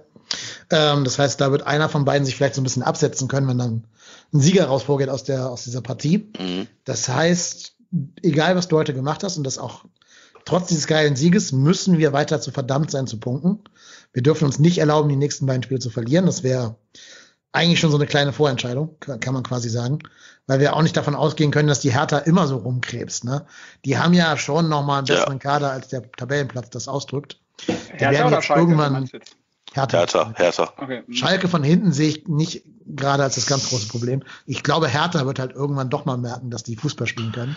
Ja, Vor allen Dingen, wenn die jetzt vielleicht einen neuen Trainer da äh, anstellen sollten. Ne? Mhm. Also Gistel ist, äh, nicht Gistel, wer ist der Mensch? Glabadia ist ja auch mehr auf, auf Abruf. Und wenn die dann sagen, okay, wir holen jetzt vielleicht doch Ralf Rangnick, der ja für Geld dann da vielleicht hingeht, oder äh, Lucien Favre oder so. Ja, also Hertha sehe ich da gar nicht so stark drin, ehrlich gesagt. Aber wir, allem, müssen halt, wir müssen halt Bielefeld da jede, jede Hoffnung ja, zerstören im Spiel. Ja, vor allem, vor allem, ich, ich habe jetzt mir gerade mal die Tabelle angeguckt, ne? Hoffenheim hat sage und schreibe nur vier Punkte mehr als wir, ne? Ja, das heißt, wenn du, wenn du, wenn du da irgendwie gewinnst, wie gewinnen solltest, sage ich mal lieber, dann bist du einen Punkt hinter Hoffenheim. Die sind Elfter. Ja. Also das ja, ist würdest, ja jetzt nicht, würdest sie mit reinreißen, ist ja wichtig. Genau, du, du, du würdest dich nach oben spülen, die mit reinreißen und dann bist du halt in diesem Strudel Hoffenheim, Augsburg, Bremen, Hertha, Köln, Bielefeld und da musst du halt, ich sag jetzt mal, einen hinter dir lassen, weil, wie gesagt, Mainz und Schalke, die haben jetzt schon acht Punkte Rückstand auf uns. Und beide mit der, ich glaube, deutlich schlechtere Tordifferenz. Ja, deutlich schlechtere ja. Tordifferenz. Genau. Das heißt, ähm, da, da brauchen die drei Siege mehr. Und beide Teams sind jetzt nicht durch sagen und wobene Siegesserien bisher. Also beide haben sieben Punkte. Das spricht jetzt nicht für eine Wahnsinns-Siegesserie, ne? Nee, und Mainz hat ja wirklich jede Patrone, die sie hatten, schon verschossen, ne? Ja. Die haben ja wirklich alles ausgetauscht, was irgendwie zwei Füße hat. Die haben den Trainer getauscht, den Sportdirektor, vielleicht das Maskottchen, keine Ahnung. Ähm, die können ja nichts mehr tun. Und auch Schalke kann sich keinen vierten Trainer in der Saison noch irgendwie anlachen. Das heißt, die sind ja eigentlich schon am Ende ihres Lateins. Die können, also Schalke kann nur hoffen, dass der Hunter, der der Hunter knallt und da halt irgendwie, weiß ich nicht, zehn Tore schießt in der Rückrunde, damit die überhaupt zu Punkten kommen. Aber lass mal den, den Hünteler eine richtig gute Rückrunde spielen, dann macht er acht Tore. Aber das wird ja nicht immer das Siegtor sein. Also die werden ja nicht durch acht Tore plötzlich äh, 24 Punkte machen. Also glaube ich auch nicht. Und selbst wenn, hätten die nur 31 Punkte. Das reicht auch noch nicht zwingend zum Klassenerhalt. Also ich sehe gerade nichts, wie Schalke und Mainz-Fans Hoffnung machen könnte. Da würde ich, äh, also ich glaube, wir müssen jetzt eher Bielefeld, Bremen, Augsburg, Hertha, Hoffenheim im Auge behalten als ja. von hinten. Ja, wobei ich, wobei ich ehrlicherweise bei Schalke, wenn ich mir den Kader wirklich nominell angucke, dann ist das kein Kader von dem 17. Jein. Also ich habe mir das heute ja live ansehen dürfen. Die haben auch viele Verletzte, darf man nicht vergessen. Ne? Der Mascarell war lange kaputt, der Paciencia ist verletzt, ja. ähm, der äh, Skipski ist, ist auch verletzt. Also sind schon noch ein paar, wo du sagst, die sind schon für einen Bundesligisten brauchbare Spieler. Ähm, aber die haben absolut nichts, was irgendwie defensive Stabilität herstellen kann. Die haben keine gute Innenverteidigung, keinen guten Rechtsverteidiger, kein gutes defensives Mittelfeld, wenn Mascarell nicht spielen kann.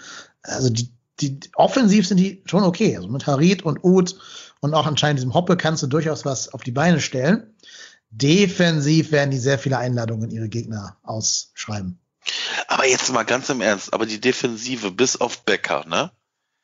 Kabak, Nastasic, Kodasinac ist jetzt nicht das aller, also ich sage jetzt mal vorsichtig, unsere Verteidigung sieht manchmal kruder aus. Jo, aber die sind auch der einzige Verein der Bundesliga, der zwei Tore gegen den ersten FC Köln fängt. Ja, Aus, außer stimmt. Dortmund und Hoffenheim so. Das stimmt, das stimmt also, auch wieder. Ja, ja, also das ist, ähm, und ja. Ist und, halt du so musst, auch, und, und du musst denken, dass nicht zwingend große Namen gut zusammenspielen. Ne? Das, ja, das ist guck auch die richtig. Union an, äh, ein, ein, ein, also nicht zusammengewürfelter Haufen, das wäre jetzt falsch, aber was die aus ihrem Kader rausholen, aus einer Mannschaftsleistung, das lässt uns doch alle nur neidisch auf die Berliner gucken. Union meine ich natürlich damit. Ja. Ne? Ja, ja, ja. Und da denken wir doch alle, das können wir doch auch. Ne? Und bei Schalke bin ich vollkommen bei euch. Große Namen, schwere Kabine, wird mir ja immer gesagt. Ne? Äh, schon, dass der Kolasinac zurückkommt und direkt Kapitän wird. Sag ich, was ist denn da los? Ne? Äh, krass, dass dann irgendeiner kommt, der sich, was ich eineinhalb Jahre, glaube ich, äh, in England gespielt hat und kriegt direkt die Binde umgebunden. Ähm, boah, ne? ich meine, klar kann man sagen, ich will alles auf Null setzen und alles, alles, was irgendwie äh, falsch war, neu starten. Aber das, das, das macht doch auch was mit der Mannschaft, glaubt ihr nicht? Glaube ich auch, weil da müssen ja die anderen denken, was bin ich denn für eine Wurst, wenn ich hier ja. seit so und so vielen Jahren die Knochen inhalt und nicht Trainer werde, äh, ja. äh, Kapitän werde. Ja. Und dann kommt der, der Kolasinac da mal für ein Training und kriegt direkt die Binde. Ja, wobei, wobei, also ich ähm, bin ja, ich sag mal, geografisch hier etwas näher dran an Schalke und ähm, mir wurde zugetragen, dass ähm, Nastasic, der bis dahin Kapitän war, aus freien Stücken die Binde abgegeben hat. Aber da war doch Mascarell der Kapitän, bevor der verletzt war. Oder Mascarell. Ja, aber da sind, aber jetzt mal im Ernst, aber Mascarell und Nastasic, das sind jetzt beides für mich nicht Führungsspieler in dem Sinne.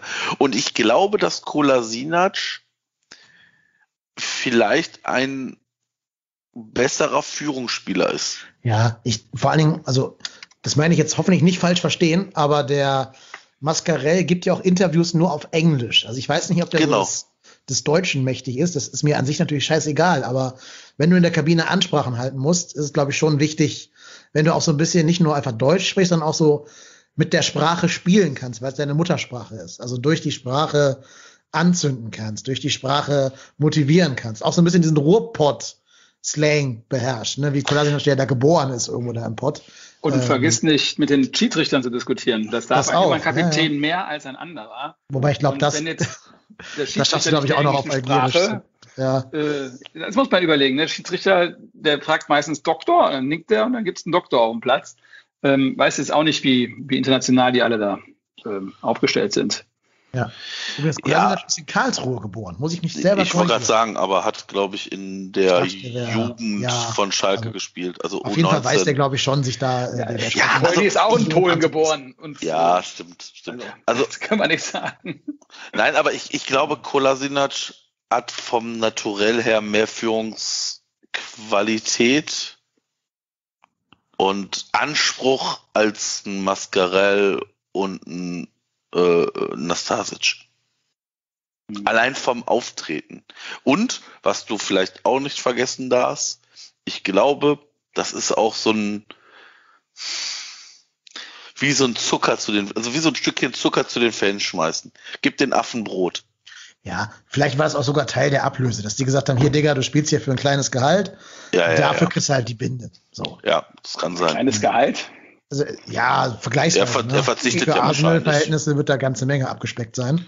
Ja, okay. Für Schalke-Verhältnisse wieder ganz okay wahrscheinlich. Wir haben ja gerüchteweise auch schon mal einen Spieler zum Kapitän gemacht, der einen fürs Team nehmen musste. Jerome? Nee, ich meinte ja jemand anderen, aber ich will jetzt hier keine Namen nennen. Aber der hat für seinen Landsmann sich vielleicht mal an Steuer gesetzt oder so, man weiß es nicht genau. Ach so, ja, alles klar.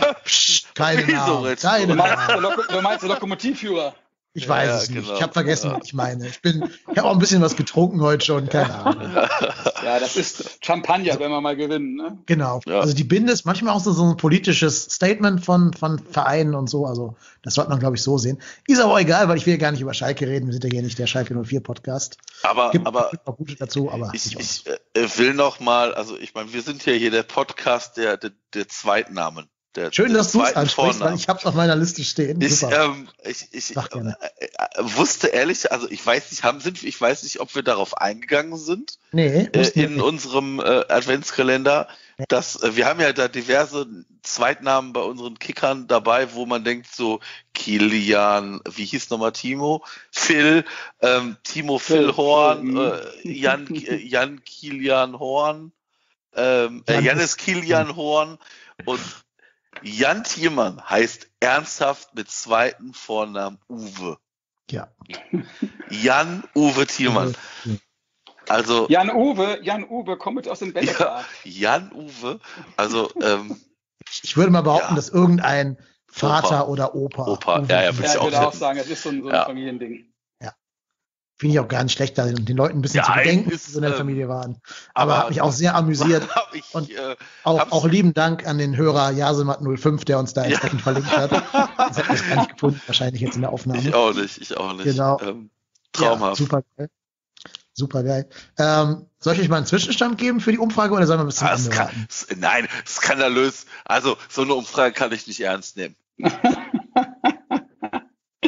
Ja, Fraud! Fraud! We Ja, won by also- a landslide. By a landslide. Ja, also, also, das ist, also, äh, ich, ich habe gerade schon ernsthaft überlegt, dass ich mir hier schon Twitter-Accounts noch anlege mit irgendwelchen E-Mail-Adressen, die ich jetzt mal eben mache. Das ist, äh, Zwischenstande wie 28 Prozent sagen nur, das war gewollt. Also, Und davon sind zwei Stimmen von uns, ne? das sind zwei Stimmen von uns. Also, das äh, Ja, ist das ist mal, sowas. wer hier in diesem Podcast Ahnung von Fußball hat und wer nur Gastmoderator und Gast ist. Deswegen beschweren Marc und ich uns ja auch. Ja, genau. Ja, genau, richtig. Das ist wahres Wort. das, Ja. naja, ihr könnt ja dann die Meuterei anzünden, dann macht ihr hier trotzdem Piraten-Podcast oder sowas. Ja, ja.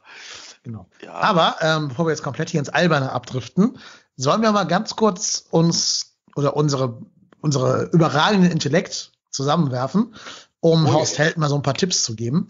Denn das Transferfenster ist ja noch zwölf Tage geöffnet. Und wir haben ja durch die Vertragsauflösungen von äh, Frederik Sörensen, der mit einem italienischen Zweitligisten in Verbindung gebracht wird, mit dem tollen Namen Delfina Pescaria oder so ähnlich, also Delfinfisch. Pescara, äh, Delfino Pescara. Pescara. Ja, Ja. also Delfinfisch auf Deutsch, ganz großartig. Und ähm, mit der Vertragsauflösung von Christian Krille Clemens, dem wir an der Stelle hier wirklich alles Gute und viel Gesundheit wünschen wollen, meine ich ernst, keine Ironie, der bei Markus Anfang in Darmstadt äh, angeheuert hat, haben wir ja ein bisschen Gehaltsvolumen eingespart und haben ja vielleicht ein bisschen Luft gewonnen, um auf dem Transfermarkt was zu tun, auch wenn Horst Held da noch Understatement betreibt. Ähm, da gab es jetzt so ein paar, naja, ich will es gar nicht Gerüchte nennen, aber so ein paar ja, Namen, die halt so kursierten. Habt ihr zu irgendeinem Gerücht oder sonst irgendwas noch einen, einen Wunsch oder ein, ein Statement, irgendwas, was ihr dazu, was ihr einfällt? Also wichtig kann man schon mal sagen, Frederik Sörensen ist definitiv neuer Spieler von Delfino äh, Pescara Calcio. Ja, aber ganz ehrlich, wenn ich Frederik Sörensen, Sörensen wäre, würde ich auch sagen, alles richtig gemacht. Du bist wieder in Italien, wo deine Frau ja eh hin will. Das darfst stimmt. an der Adriaküste spielen, hast wahrscheinlich auch ein schöneres Leben als im kalten Deutschland. Also, meine Güte, ich finde, der hat alles richtig gemacht. Und noch ein Stammplatz. Happy Wife, Happy Life. Ja, und noch ein Stammplatz. Aber jetzt mal pass auf, aber pass auf. Delfino Pescara spielt in der zweiten italienischen Liga und ist irgendwie 17. von. ja, aber da kannst du doch nur der Held werden. Da wirst jetzt der Abwehrchef. Alle finden dich geil. Italienisch kann er doch auch. Also ist da wahrscheinlich gut integriert dann schnell. Ähm, also ich finde das ein guter Move. Und was mag der Held eingespart haben? Zwei Gehälter max, mehr ist das nicht. Also ich würde mal sagen, er hat so eine Million eingespart. Millionen wird er eingespart haben. Minus die Abfindung für die Vertragsauflösung. Die. Ja, wobei, wobei ich mir da nicht so sicher bin, ob wie viel Geld da geflossen ist. Also das Ja, wissen also- wir ja nicht. Aber das was würdest du würde- denn machen? Ne? Also wenn ich Spieler wäre und er würde sagen, du kannst gehen, sage ich ja gut, dann gib mir vier Gehälter vor den vorbei bin sechs Hm. und ich gehe durch die Tür. Und, und Ja. so wird das, Naja, aber wird das ablaufen. also ich glaube, ich glaube, also ich glaube, bei Christian Clemens bin ich der felsenfesten Überzeugung, ähm, der, also der wird gegangen sein und jetzt wahrscheinlich nicht äh, noch vier Gehälter bekommen. Nee, den halte ich auch für klein, der da irgendwie so auf das letzte Und- Centstück. Und äh, ich glaube bei Frederik Sörensen, wir müssen uns eins überlegen. Bei beiden Spielern läuft der, würde der Vertrag, also ist der Vertrag zu Ende dieser Saison ausgelaufen. Ähm, ich glaube, Clemens hat auch erstmal in Darmstadt nur Vertrag für ein halbes Jahr. Ich weiß jetzt nicht, Sörensen, mhm. ich habe jetzt keine Lust gehabt, mir einen italienischen Text durchzulegen. Ich kann kein Italienisch. Ähm, würde jetzt mal sagen, der hat also mindestens auch ein halbes Jahr Vertrag bekommen. Ich glaube, die, also ich glaube, nichts ist schlimmer für einen Fußballer, als ein ganzes Jahr nicht zu spielen. Ich weiß nicht, wann Clemens das letzte Mal für uns gespielt hat. Das ist sicherlich Kann mehr als. Sagen. Kann ich dir sagen. Gegen Werder Bremen 1 zu 6, ein paar Minuten. Ja, genau. Ja, also stimmt, ja. sprechen, wir, sprechen wir davon, dass Christian Clemens ein ganzes Jahr nicht Fußball auf Bundesliga, Zweitliganiveau oder noch nicht mal Drittliganiveau. Das heißt, Christian Clemens hat ja ein paar Spiele für unsere zweite Mannschaft gemacht. Aber nochmal, das ist vierte Liga. Mhm. Das muss man, das muss man dann auch einfach mal so in den Raum werfen. Und ich glaube, wenn du dann halt, ich sag jetzt mal vorsichtig gesagt, noch ein paar Jahre Fußball spielen willst auf in Anführungsstrichen professionellem Niveau, dann musst du vielleicht einfach diese Kröte mal schlucken. Die beiden haben hier in Köln über Jahre hinweg ein richtig gutes Gehalt verdient. Und ich glaube, dann kannst du vielleicht auch sagen, komm mal, dann verzichte ich lieber auf, auf hier vier Gehälter, A, weiß ich nicht, 250.000 Euro, 150.000 Euro, was auch immer. Also bei Sörensen hat man ja immer davon gesprochen, dass der mehr als zwei Millionen Euro im Jahr verdienen soll. Mehr. Und wenn du halt mehr. jetzt mehr, also, also mhm. ich, ich, glaube, ich glaube, irgendwie, ich, es war mal mit 2 plus x, also, ne, also wahrscheinlich sind es keine 3, aber ich sag mal 2,2 oder was auch immer. Oder irgendwie sowas um den Dreh. Oder von mir lass es auch nur 2 gewesen sein. Dann sparst du dir jetzt halt, ich sag mal, bei Sörensen vielleicht ein knappes, knappe Million. Und ähm, selbst wenn es nur 800.000 sind und bei Clemens lass es, lass es 200.000, 300.000 Euro sein, dann sparst du eine Million Euro ungefähr. Und dafür willst du vielleicht irgendwo auf dem Markt jemanden finden, der vielleicht sogar ablösefrei kommt und dem du das halt als Gehalt zahlen kannst. Weil eine Million Euro für ein halbes Jahr ist ein guter Verdienst. Wo muss ich das sein? Ich wollte gerade sagen, also da bekommst du sicherlich einen Spieler für. Ähm, ich meine, es gab ja schon Gerüchte, Max Meyer und äh, ich glaube, das neueste Gerücht ist Daniel Ginczek. Genau. München, ja. Aber Meier sind auch gut besetzt auf der Position, halte ich eher für heute. Passt also Max Stil. Also, also Max Meyer, Max Meyer habe ich, kann ich auch, also ich, ich weiß nicht so ganz, wie, also ich, bei Max Meyer bin ich, habe ich nur eine Sache, ich weiß nicht, wie stark Markus Gistol Andre Duda wirklich auf dieser, ich sag jetzt mal vorsichtig, hängenden Spitze sieht oder ob das jetzt wirklich nur die Notlösung geschuldet ist, dass Modest nicht wirklich funktioniert aktuell und Tolu keine Option über 90 Minuten ist und Anderson verletzt ist. Ich ja, glaube, es geht nur um Andersen. Ne? Also der Junge, der muss man sich mal reinziehen, der kommt aus Berlin mit größten Ansprüchen, ist dann, wird dann im Training äh, unglücklich erwischt von einem eigenen Spieler, und ist jetzt äh, krebst dann nur noch so rum mit Schmerzen und jetzt spielte der, wurde der immer zusammengeschustert, jetzt wird er fit werden. Ich meine, der hat sich ja auch nicht unglücklicher vorstellen können, der Junge. Ne? Und ich glaube, mit, mit ihm vorne im Sturm wäre es halt viel, viel besser. Ne? Wenn man sich mal anschaut, der hat ja zwei Buden gemacht in, in den paar Spielen, die er gemacht hatte und hatte deutlich bessere Abschlussquote als der Anthony. Ähm, also ich, also eigentlich sollte es ja auch heißen, mal gucken, was die Diagnose von ihm sagt, ne? weil auf ihn warten können wir nicht. Wir müssten, glaube ich, was machen. Am liebsten würde ich äh, einfach ein offensiveres Spiel mir wünschen, ne, wo die Pässe in den Sturm, also in das letzte Drittel, äh, einfach besser funktionieren, wo einfach mal auch mal ein Schuss reingeht, nicht nur durch Standards, ne, so wie heute das 2 zu 1. Ähm, aber das würde ich mir wünschen. Ähm, grundsätzlich glaube ich, dass wir nicht zwingend einen brauchen. Wirklich, weil ich finde, wir haben eigentlich ganz gute Spieler. Und ein Gincheck finde ich top, aber äh, der ist verletzungsanfällig. Ne? Und dann jetzt wieder deine Millionen raushauen.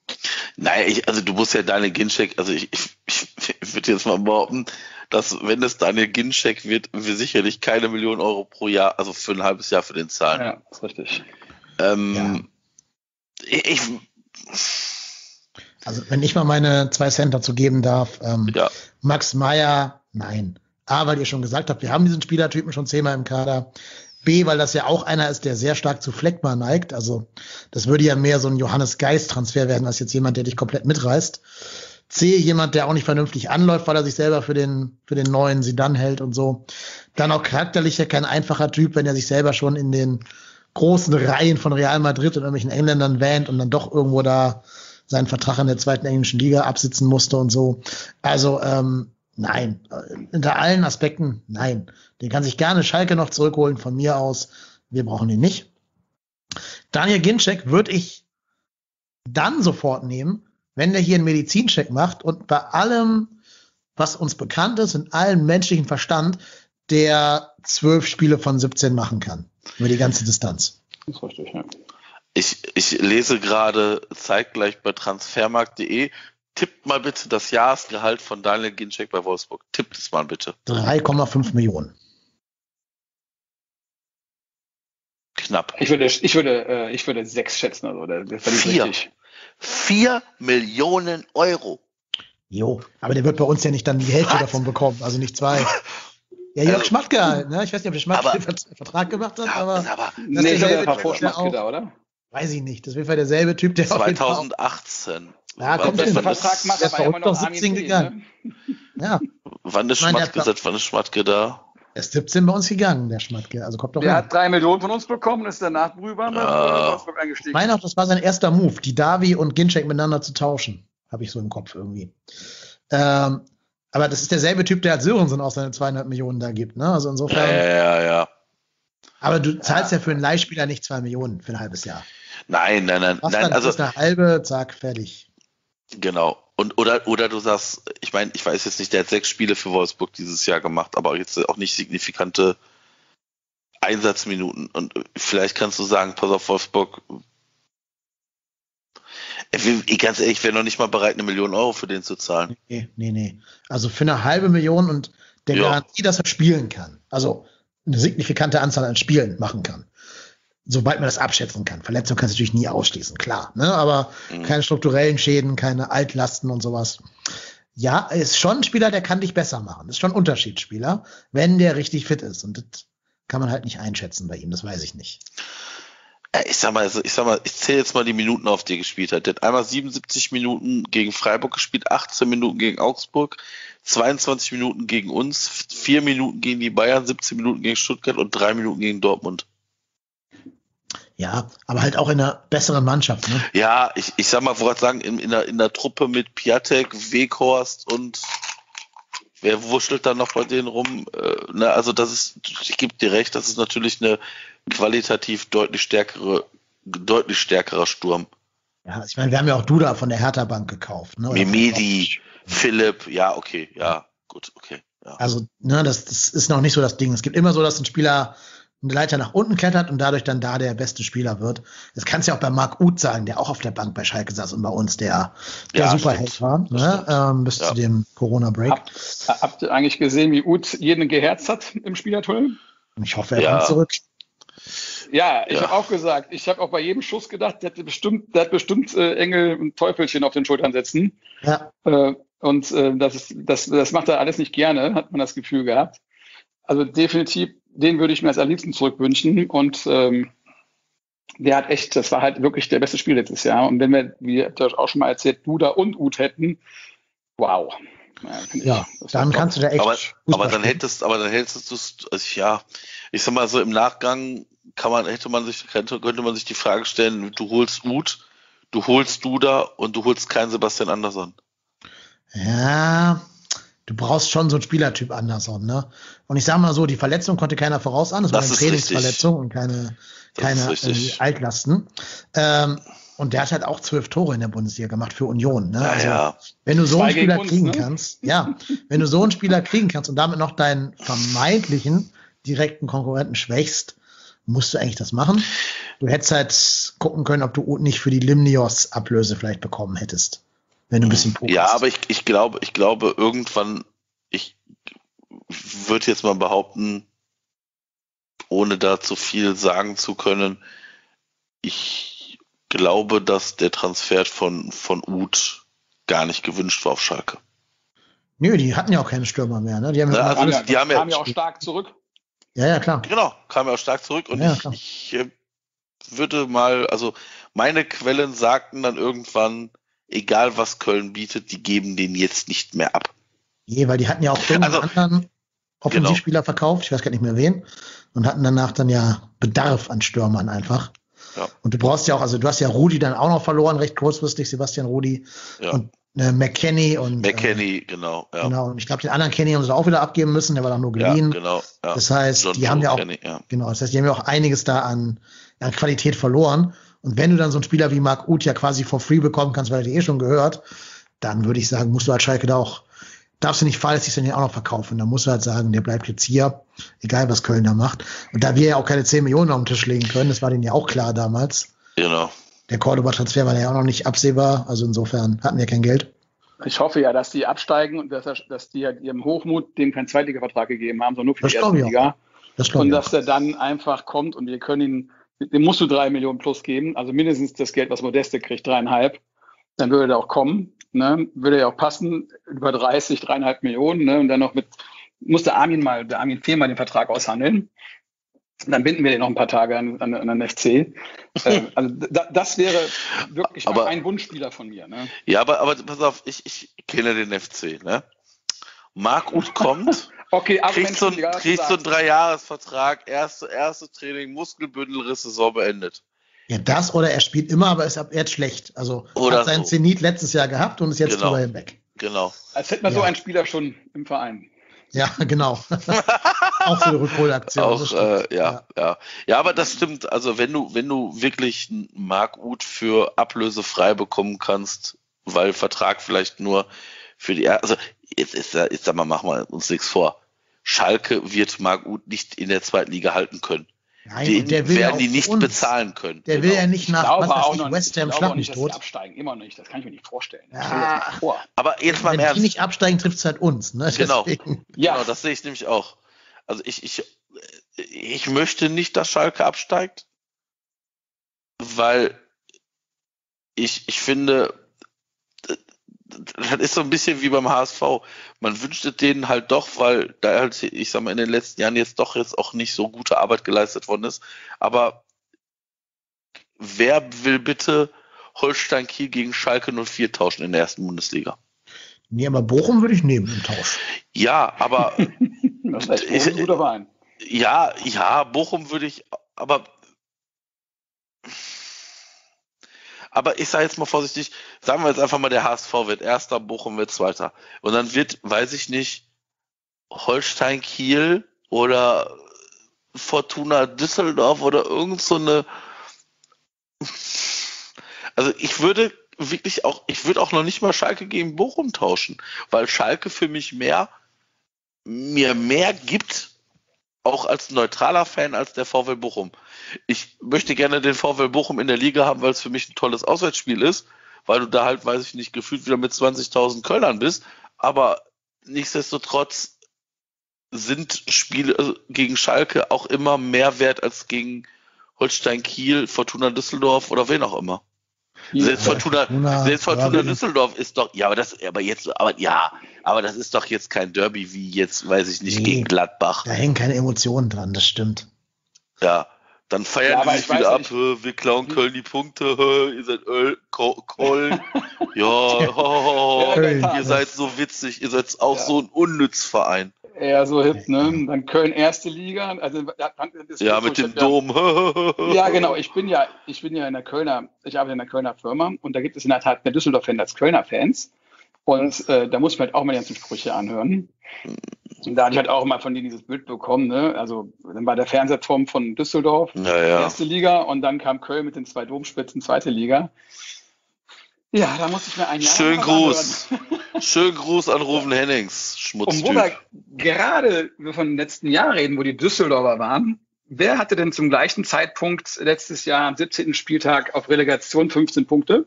Ich habe es ja schon verraten eigentlich. Wir, ne? Nee, Oder? die klauen uns die Punkte mit diesem Slogan da. Ach so, echt? Oh Gott. Die Fortuna scheint mit 15 Punkten auf 16. Bremen mit 14 Punkten auf 17 und Paderborn mit 12 auf 18. Ja, also deutlich enger, sieht, sieht eigentlich alles äh, ähnlich aus.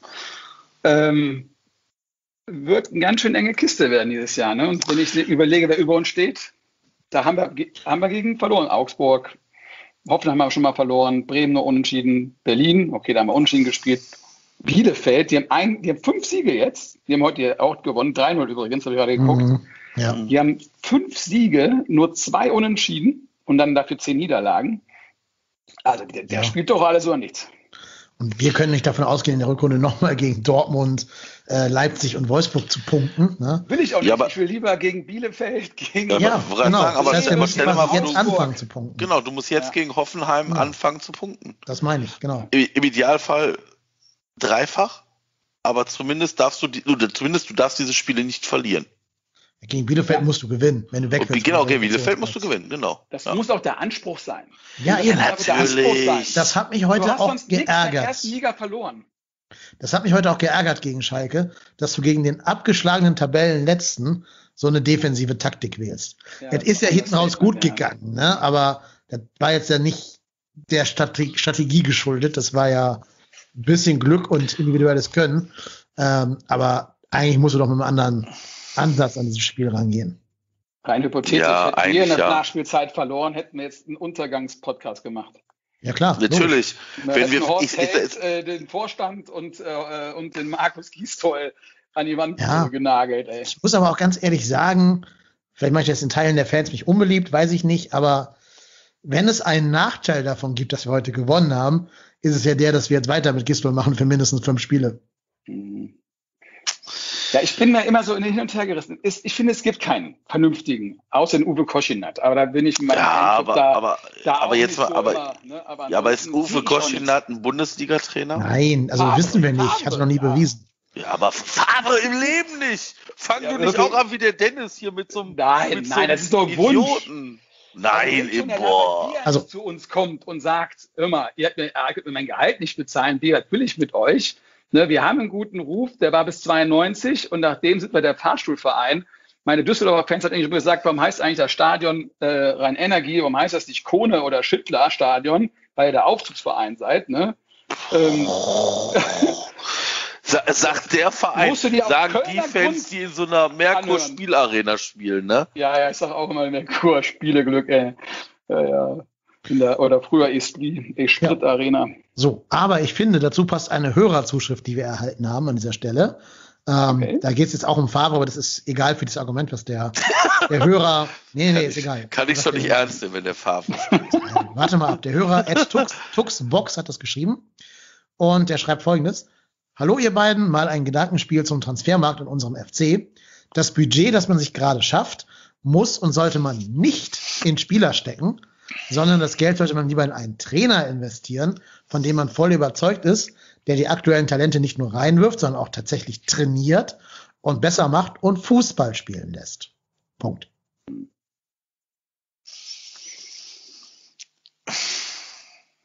Also ich bin ja vollkommen bei dir. Ne? Das, äh, ich bin ja mit dem Spielstil nicht zufrieden. Und äh, wie gerade erörtert, ich weiß auch nicht, wen wir da holen sollten. Da bin ich auch ratlos. Ne? Und die meine Wunschtrainer kommen nicht. Tuchel, Fabre, jetzt spinne ich natürlich nur rum, aber ähm, ich glaube auch, dass der, dass der Hotte einfach auch nicht frei von Emotionen gegenüber Markus Gisdol ist. Die sind ja, die wohnen ja Tür an Tür. Ja, der geht manchmal rüber zum Essen abends noch. Das sind ja, äh, der hält größte Stücke auf denen männlich. Ich gucke mir die Pressekonferenzen vom Spiel an und da ist ja der Horst halt auch immer da und er, er ist nicht müde, immer wieder zu erwähnen, wir erfüllen keinen Erwartungsdruck. Und ich wette äh, mit euch, also unabhängig von dem Sieg heute, er hat wieder seine fünf Spiele bekommen. Am Ende gehen wir vielleicht sogar noch mit 17 Spielen mit ihm weiter rum. Ich finde, dass dem Fußball echt teilweise, heute war der mal ein paar Mal gute Konter dabei, hat man richtig, man, mit wenig, wie wenig man schon zufrieden ist, merke ich immer wieder mit in mir, ne? dass man, dass man das dann noch toll findet. Aber wenn man das jetzt irgendeinen anderen Mannschaften zeigen würde, wie wir spielen, ne, Stuttgart oder äh, Union, die das gleiche Niveau haben wie wir eigentlich, von Spieler und auch von Geld, da sind wir weit weg von. Bitte. Ja, vor allem das Einzige, was bei uns richtig gut ist, sind die Standards und die trainiert Pavlak mit denen. Ja, richtig. Und da frage ich mich, warum seid ihr nicht also das ist das, was ich dem Gistol manchmal vorwerfen muss, dass der einfach nicht ein Drecksack ist, äh, der sagt, pass mal auf, wir gehen, wir gehen vorne in das Halbfeld rein, holen, holen uns da die Straf, äh, die, die, die Freistöße, dann setzt Schema schön einen 16er und dann fällt schon einer ab. Ne? Und das macht er nicht. Der scheint irgendwie so Gentleman zu sein. Weil wir aber auch der Trottelverein sind, der sich vermeintlich faulen lässt, alle, alle bleiben stehen, alle warten auf den Pfiff, der Gegner spielt weiter, Kontakt, Tor. So wie Wolf eben, ne? Wo er sich ja. die Arme hebt in der ersten Minute. ja, so, genau. Hey, lauf weiter, was machst du da? Genau. Also, pfeift. Ja, ja, genau. Also das ist, aber das ist, das ist ja auch ein Ding, das haben wir ja nicht exklusiv, dieses Ding, ne? Also das ja. erlebe ich, also das sehe ich in der Bundesliga relativ häufig, dass die Spieler dann irgendwie abschalten zum Spieler, äh, zum Schiedsrichter Das hatten die Schalke heute auch drei, vier, fünf, sechs Mal. Ähm, und dann kommt kein Pfiff und dann muss halt der Motor erstmal wieder auch im Kopf angeworfen werden. Ähm, also nochmal, ich, es ist jetzt nicht so, dass ich der größte Markus Gistol-Fan bin. Diese Rolle haben andere Leute, äh, treue Hörer intus. Grüße. Ähm, Grüße. ich warte immer noch auf die Einladung zum großen Markus Gistol Fanclub. Ähm, also das ist ja immer noch nicht, äh, der ist ja immer noch nicht ausgerufen, skandalöserweise. Ähm, ich ich weiß nicht, wer das, ich glaube, der, der, der äh, ich weiß nicht, wer von euch beiden das gerade gesagt hat. Also wenn müssen wir jemanden holen, hinter dem wir voll stehen. Oder war das, oder war das, das war der Hörer? Das hat ne? der Hörer Tuxbox gesagt. Genau. Ich, und genau das Die ist Fans das. stehen oder, oder der Vorstand? Weil ich der Vorstand, der, der wenn Vorstand. ich Horst Held höre, ne? Ich meine, der Vorstand ist für mich unsichtbar. Aber, äh, aber wenn ich das höre, ob er, wenn, oder wenn ich den mal sehe, und es kommt übrigens morgen hier der, vierte Teil von dem 24-7 raus. Das gucke ich mir mal an, was da immer zusammengeschnitten wird, weil ich, ob ihr das auch guckt, äh, ähm, ist immer wieder spannend zu sehen, was dann doch der, der Hector für eine, für eine Riesenrolle scheinbar dieser Mannschaft hat. Ähm, ich sehe da wirklich, dass sie den, dass die Markus Gisdol total festhalten. Also das ist das, was ich auch interpretiere an die Aussagen und dass die halt sagen, den Erwartungsdruck erfüllen wir nicht. Ne? Er schmeicht seinen, seinen, seinen Nachbarn nicht raus. Ne? Also ich glaube, am Ende, wenn du dann, sind wir ehrlich, wenn der Held den rausschmeißen muss, der gerade den Vertrag verlängert, brauchtest du nicht. Ne? Sind wir uns alle einig? Warum verlängerst du einen Vertrag? Das ging noch ein Jahr. Kannst du auch sagen, es mal auf, zur Pause haben wir genug Zeit, da kriegst du einfach ein bisschen mehr Gehalt, ähm, dann lass ich das rückwirkend machen. Aber bevor es losgeht, wird er verlängert. Da macht sich ja der Gießtoll, äh, nicht der Gießtoll schon, der, der Hotte sowas von äh, unglaubwürdig. Und auch der Vorstand mit seinen Kontinuitätsredereien, boah, schwer. Deshalb glaube ich, äh, erneut, dass, dass die hinter ihnen stehen. Wenn wir ein Such hinter den Bier stehen würden, ja, da fällt mir auch keiner mehr ein. Äh, früher wäre es Peter Stöger gewesen, aber äh, ich finde, nachdem der äh, bei, beim, beim Hummelverein war, hat sich das auch ein bisschen gedreht bei mir. Ja, also ich, ich finde, wie gesagt, so Rückholaktionen laufen beim FC bekanntermaßen ja nie richtig gut ab. ähm, ich könnte mir vorstellen, dass das bei, bei einer Rückholaktion von Peter Stöger exakt genauso ablaufen würde. Also ich weiß nicht, ob ja, also Peter Stöger hat natürlich hier einen Wahnsinnskredit irgendwie bei, bei, bei den Fans und wahrscheinlich auch zu Recht, aber also wie gesagt, ich sehe einfach keinen, keine Lösung, die, ich sag mal, jetzt ein bisschen so out of the box ist, wie, weiß ich nicht, Mark van Bommel oder wen auch immer aus dem Ausland zu holen. Wenn, wenn du, wenn du, ich sag mal, diese vereinslosen Trainer durchgehst, ist das ja das Gruselkabinett. Ja, das kannst du echt vergessen. Und, und da brauche ich keinen, ich brauche keinen Mirkus Lonka, Taifun Kok oder so will ich, dann, dann können wir auch mit Markus Gisto weitermachen. Also ernsthaft, da können wir uns, da können wir uns die Abfindung für dieses Jahr sparen.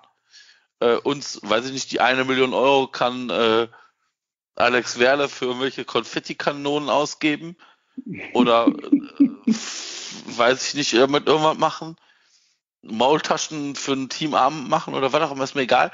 Aber das Geld kannst du dir sparen, weil, weil das bringt dich nicht signifikant weiter. Oder für, oder weiß ich nicht, so als allerletzte Patrone für die letzten drei Spieltage. Aber da weiß ich nicht. Ich, wie gesagt, ich sehe ich seh keine Lösung, die uns auf ein anderes Level bringt. Mit, als, also als mit Markus Gistol. Was sagt denn Dennis dazu? Ihr werdet alle doof gucken, wenn am Wochenende Bruno Labbadia auf den Markt ja, kommt. Bruno, aber. Der wollte doch schon letztes Mal nicht. Ich dachte, sagen. Da dachte er doch, er wäre ein anderer Trainer. Jetzt hat er gemerkt, dass es halt nicht reicht. Ja, aber. Für Abschiedskampf. Also. Der, der will drei Millionen plus haben, der junge Mann. Der, der, der, war, der war bei, äh, nee, bei Wolfsburg, da hat er sich echt die Taschen voll gemacht, hat auch einen guten Job gemacht. Ist der dann mit, mit zum, zum Hertha und wenn du Hertha hörst, weißt du direkt, jetzt kannst du das doppelte Gehalt verfordern aktuell, weil das Geld da so locker sitzt. Ne?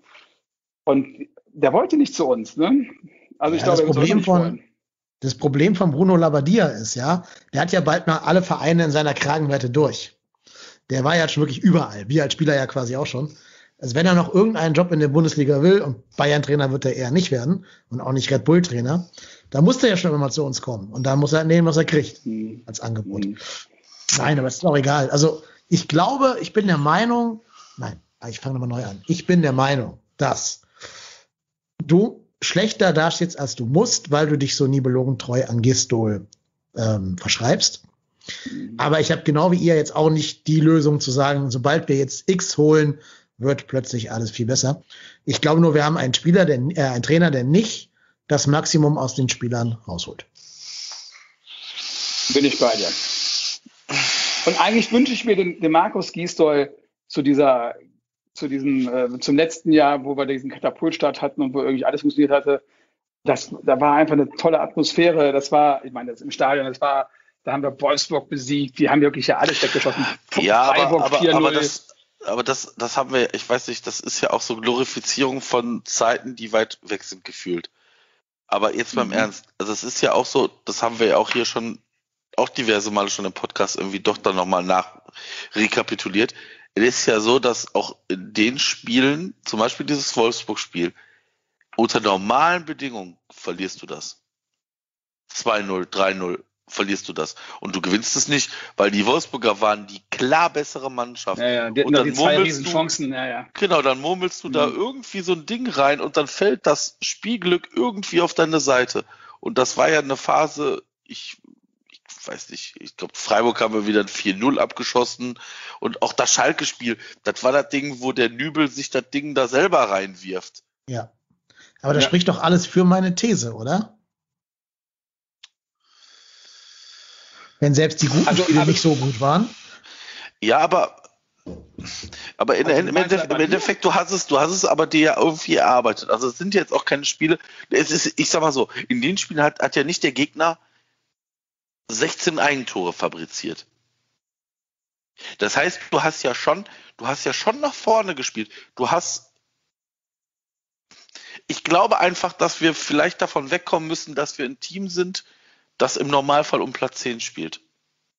Das sehe ich schon lange nicht mehr, das stimmt. Ah, Aber trotzdem, trotzdem kannst du doch das machen, was Union und Bielefeld machen. Also einfach klar erkennbare Offensivmuster haben. Das ist doch keine, ist das keine Raketenwissenschaft. Und, ja. Und die Automatismen bin ich vollkommen bei dir. Die müssen mittlerweile auch stimmen. Ja. Das trainiert man doch. Ja. Also, also als wir am Anfang der, der, der, der Saison sagten, ja, wir haben die Spieler sich gekauft, da habe ich, hab ich mir gedacht, ja, ist so, da bin ich ja bei dir, aber die Abwehr nicht die habt ihr, hast du schon über ein Jahr. Da hättest, da könnten ja wohl ein bisschen mehr die, die Abwehr dicht sein. So, und jetzt haben wir alle Mann beisammen und es ist dann immer nur ein Bus äh, in sechs Jahren zu parken und dann rauszugülücken. Schwer. Ne? Also es ist, hätten wir heute nicht gewonnen, wäre ich auch ganz, ganz schlechter Stimmung gewesen. Ja, ich sag mal so, hätten wir heute nicht gewonnen, dann hätten wir heute den Abgesang von Markus Gisto gefeiert. Und herbeigeschworen. Das ist so. Gemacht, das, ja. das ist so machen wir uns doch nichts vor. Hätten wir heute verloren, das ist wie das Spiel gegen Dortmund. Verlierst du dieses Spiel gegen Dortmund, sang und klanglos, ist Markus Gistol nicht mehr Trainer des ersten FC Köln. Egal, was Horst Held vorher erzählt. Verlierst du dieses Spiel heute gegen Schalke, nach einem Grottenkick gegen Hertha, nach einem Katastrophenkick gegen Augsburg und dieser Niederlage gegen Freiburg, dann ist Markus Gistol nicht mehr Trainer dieses Vereins. Das müssen wir, das muss man so sagen. Aber wie gesagt, ich, ich, ich sehe, ich, ich bin voll bei euch. Ich, es ist auch nicht so, dass ich bei Markus Gisto eine, eine komplett andere Meinung habe. Ich, ich sehe einfach nur keinen adäquaten Ersatz. Ich sehe keinen, unter dem das signifikant besser werden würde. Und ich glaube auch nicht an Pavlak, der hat es schon probiert. Nein, nein. Ach, andere, äh, vielleicht tue ich da, ihm da jetzt massiv Unrecht mit. Äh, wahrscheinlich klingelt jetzt bei André Pavlak auch gleich, äh, klingeln einmal die Ohren, aber bei André Pavlak habe ich immer so das Gefühl, es gibt vielleicht auch einfach gute Co-Trainer. Vielleicht, ich muss hier immer, wie hieß der von, von, von, das schon, Michael, schon Henke. Hier, Michael Henke hier von, ähm, von Ottmar Hitzfeld. Ottmar Hitzfeld. Dortmund damals. Hm. Genau. Da ja. haben alle gesagt, ja, der hat unter Ottmar Hitzfeld, hat der das ja so super gemacht. Und dann ist der wo? In, in Ingolstadt. War der Ingolstadt und sonst Noch wo irgendwo. gewesen. Lautern, glaube ich auch. Kaiserslautern. Und, und nur, der, der hat nur Scheiß gemacht. Der war übrigens auch mal Co-Trainer beim FC, ne? Tatsächlich. Ja, war der auch, ja. Ja, gut, dass das, äh, ne, also das wäre, also äh, du, nur weil Sprung, du ein guter, Sprungbrett FC.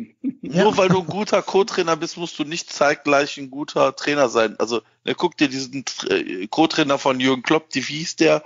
Bubac, Buvac, wie auch ja, immer. Der, das, genau, der ist ja dann auch von Klopp weg und wollte groß rauskommen. Hörst du nichts mehr von. Ähm, das ist ein anderes Ding, ob du in der zweiten Reihe hinter jemandem trainierst oder hinter, hinter jemandem sein kannst und oder ob du an vorderster Front kämpfst. Das ja, ist das ein Problem, Unterschied. Das Problem ist ja auch, dass unsere Mannschaft eigentlich die falsche ist, um mit so einem jungen Trainer ähm, viel Erfolg zu haben. Ja. Eigentlich brauchen wir doch so einen, so einen Trainer, der so ein bisschen über den Dingen steht, dem auch alles so ein bisschen scheißegal ist, aber auf so eine positive Art. Nicht so eine Armin Fee, Höher, Don Rotwein Art, mhm. sondern halt so ein, ja, sondern halt so, so, weißt du, so, ah, pff, ist mir doch egal, ob du jetzt rumholst, da Anthony Modeste spielt halt nicht. Ja, ja, ja, ja. Du musst halt gucken, dass, du, dass er halt nicht die, die Kabine dann versaut, ne? Ja. Du musst halt wirklich aufpassen. Der hat halt, halt, also ich finde, wenn er spielt, schon mal aufgefallen, da, da, der Iso Jakobs und der Thielmann, die lassen immer ein bisschen mehr Platz von denen. Die wissen, als wenn da hier der, der Büffel auf der Herde steht, der Königsbüffel, die lassen immer den Platz und lassen, äh, die wissen genau die Hierarchie, glaube ich. Und wenn der halt nicht auf dem Platz ist, habe ich das Gefühl, dass halt alle wieder dürfen. Also vielleicht bin ich auch der Einzige, der das so sieht, aber ist mir letztens also bei dem Spiel so aufgefallen. Also ich habe das schon, schon oft gesagt. Modest ist halt für die Art, die wir gerade Fußball spielen, der falsche Spieler. Wir rennen, kämpfen und beißen und all diese Attribute passen nicht zu Anthony Modest mehr. Jetzt im, im Frühjahr, Herbst 2000, äh Quatsch, was haben wir gerade? Winter 2021. In, in Quarantäne ja. alles gleich, Frühjahr. Ja, ich wäre ja für Standards provozieren, ihn an den 16er stellen und lassen köpfen, dass es Zeug hält. Ne? Aha. Also da sind wir wieder bei den Off Offensivstrukturen, weißt du? Wenn du halt Modest spielen lässt, dann musst du ihn in Abschlusspositionen bringen. Und daran scheitert es bei uns ja auch schon. Aber, aber, aber pass auf, das ja, völlig richtig. Aber pass auf, da gehört aber auch dazu, dass dieser Spieler sich selber in Abschlusspositionen bringt. Ja, das und das habe ich in den letzten Spielen nicht gesehen. Jetzt kann man vielleicht die letzten Spiele dann jetzt nicht unbedingt, also gerade dieses Freiburg-Spiel vielleicht nicht unbedingt als Gradmesser für nehmen. Aber es ist ja jetzt nicht so, dass Anthony Modest jetzt immer wenn er kommt, die Sterne vom Himmel spielt. Nee, also, also natürlich hängt er in der Luft und natürlich tut mir das auch für ihn persönlich sehr leid, weil ich wünsche jedem Spieler beim ersten FC Köln alles Gute auf der Welt. Aber ich sehe einfach nicht, dass wir mit dem Stoßstürmer Anthony Modest also ich sehe mehr Nachteile mit ihm als Vorteile. Weil genau das, wenn was er spielt, sagt, genau, wenn er spielt, weil genau du, du hast nicht diese Galligkeit beim Anlaufen. Allein wenn ich sehe, wie André Duda oder Jan Thielmann oder auch heute Marius Wolf, als er noch weiter offensiv gespielt hat, wie die die Gegner anlaufen. Das ist eine andere Qualität als das, was Anthony Modesta macht. Das wissen alle, das weiß jeder Fan des ersten FC Köln, dass Anthony Modest noch nie der Spieler war, der massiv angelaufen ist. Das war auch unter Peter Stöger nicht so. Und da liegen halt einfach, wie viele Jahre? Vier, na, drei Jahre jetzt zwischen, ne? 2017 hat er uns verlassen. Jetzt ist 2021 Anfang, also dreieinhalb Jahre. Ja, dreieinhalb Jahre. Und das ist dann einfach. Nein, das ist ja auch nicht. Nein, also sehe ich genauso. Das Geld, was du in seine Gesamtpaket da ja, investiert hast. Das hätte man dann, ist, dann, hättest du, dann hättest du auch in den Ofen. Hättest du spenden können. Dann hätte mir geben können. Du, da mehr mit anfangen können. Ey, nein, pass auf, dann das hättest, du auch, sinnvoll. dann hättest du auch in irgendeinen Gully in Köln werfen und dann hättest du es unten wenigstens noch klatschen hören. Ja, wobei also, immerhin hat uns ja eine Pokalrunde weitergebracht. Das war ja so ein kleiner. Ey, äh, ja, ja, boah. Weiß ich aber nicht, ob wir, das wir sind nicht aber jemand auch auch- geschafft hätte. Ja, glaube ich auch. Äh, wir sind doch gerade auch ein kleines bisschen von meinem eigentlichen Gedanken abgerutscht. Ich wollte ja eigentlich noch einen Namen in die Runde werfen, hier als Transfer, als potenzielle Laie. Als Trainer oder was? Nein, nein, nein, Ach so. jetzt. Ach so. noch. Ähm, also der ist nicht von mir. Das Copyright gehört meinem Kollegen, dem P-Rod, den ihr auch hier aus dem Podcast schon kennt. Der wirft nämlich immer wieder einen Namen in den Raum, nicht für die Offensive, sondern für die Defensive, weil P-Rod sagt, sobald wir Viererkette spielen, haben wir schon keinen Spieler mehr, der Rechtsverteidiger spielen kann. Und der würde gerne äh, Tin Jetwei von Bayer Leverkusen ausleihen. Waren wir nicht auch im Sommer da mal dran oder war das letztes Jetzt Jahr im. Winter? Ähm, Echt? Ich habe nur hier Baumgartlinger um Schirm, aber Ich meine, dass wir irgendwann mal der Name Jetwei auch schon mal gefallen ist. ach da hat der P-Rod das her. So, so. Ich dachte, der wäre kreativ geworden. Nee, also ich habe irgendwie. Ich kann auch sein, dass ich mich massiv vertue, aber Jetwei war ja schon bei äh, äh, Leverkusen dann irgendwie am Abstellgleis, war dann irgendwie nach was? Nach Augsburg ausgeliehen? Ja, oder kann nach sein. Mainz Nee, oder irgendwie Augsburg. so? Augsburg, Augsburg, ne? Und als er dann zurückkam, meine ich, dass der irgendwo dann auch mal ähm, bei uns gerüchtet wurde. Ja, kann sein. Wie wir jetzt in Leverkusen ist er ganz außen vor. Da hatte zeitweise selbst ein Mitchell Weiser die Nase vorne als Rechtsverteidiger. Und die bemühen sich jetzt wohl um irgendeinen Rechtsverteidiger aus dem Nachwuchs von Manchester United, die Leverkusener. Das heißt, der wäre wahrscheinlich dafür offen, mal wieder ein paar Spiele zu machen. Mhm. Aber dann hätten wir einen aus dem Abstellgleis von Leverkusen, äh, von Leverkusen und der wäre gut genug für uns für die erste Garde.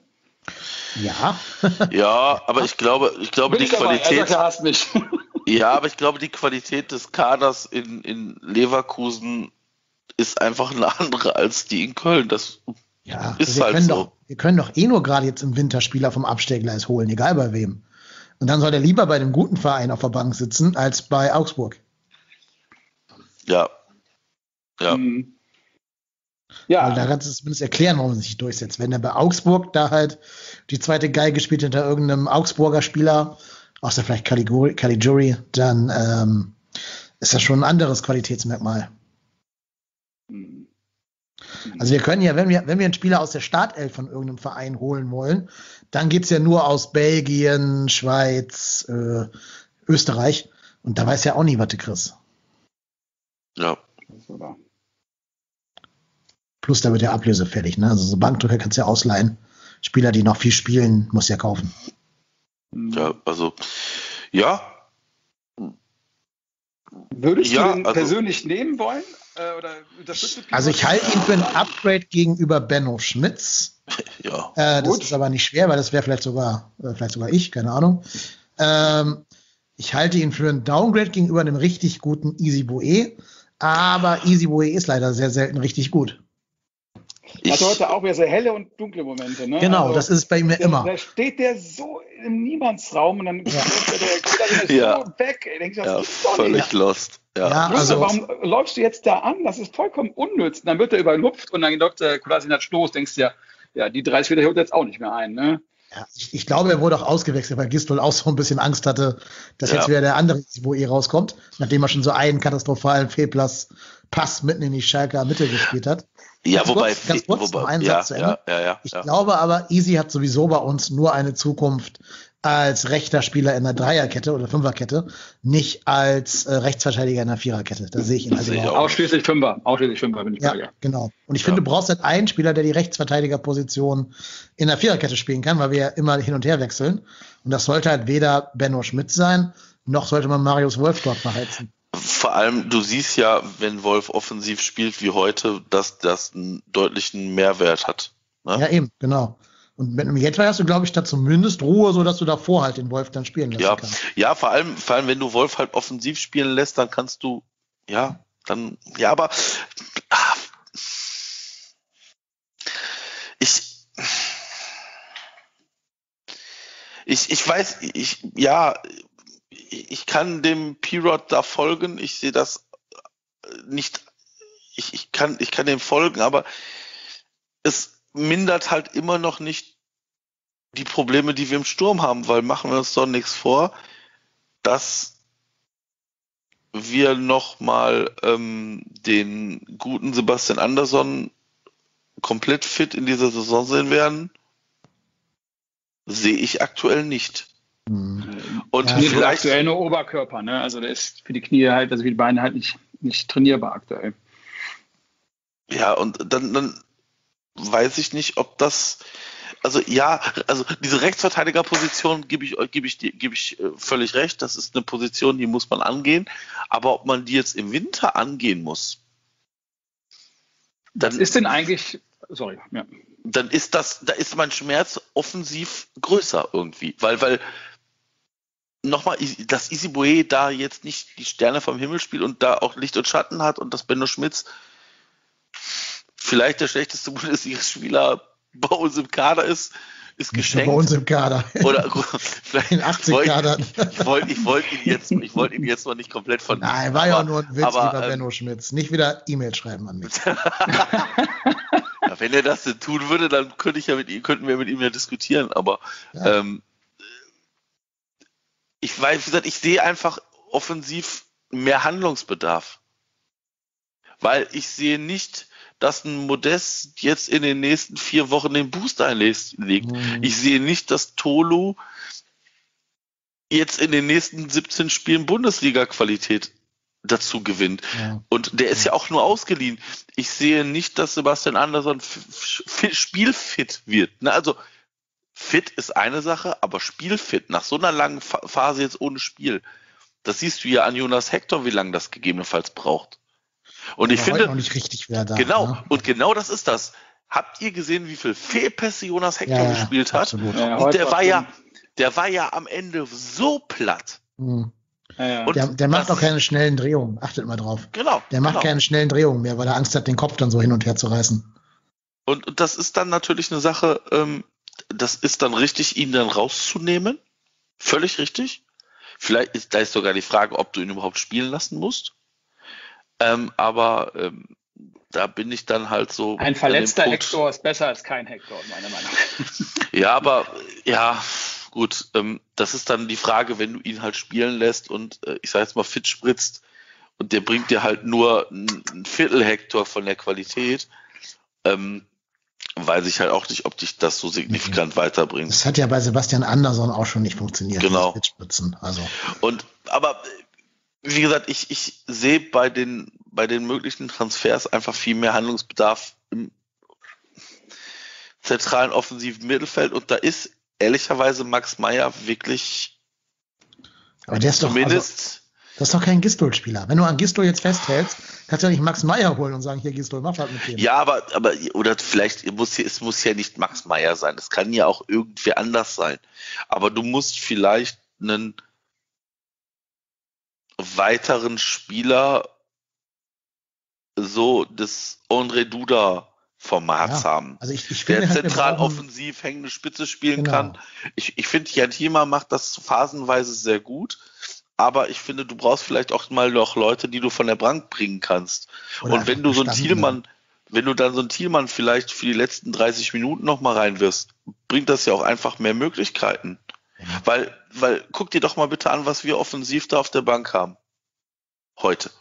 Ja, das Jakobs, ist ein Jan Thielmann. Tolo, Modest. Jakobs, genau, aber bis auf Jakobs und Thielmann. Und Jakobs ist ein Außenspieler. Das ist jetzt kein klassischer Strafraumspieler. Also mhm. ich sehe ich sehe einen, ich sehe einen ähm, Thielmann deutlich mehr als Strafraumspieler als einen, als einen äh, Ismail Jakobs. Ja. Ismail er ist halt auch so ungenau im letzten genau. Das geht mir Absolut. richtig. Genau. Jakobs also, ist halt ein er, Linksverteidiger er, und das siehst genau. du. Genau, er also bricht, ist, ein, ist ein linker, durch, linker Mittelfeld, linker nicht. Verteidiger, genau. Und dann, dann hast du halt nur noch Tolu und Modest. Ja, und das, und das ist keine, halt, keine und das sind halt, das, genau.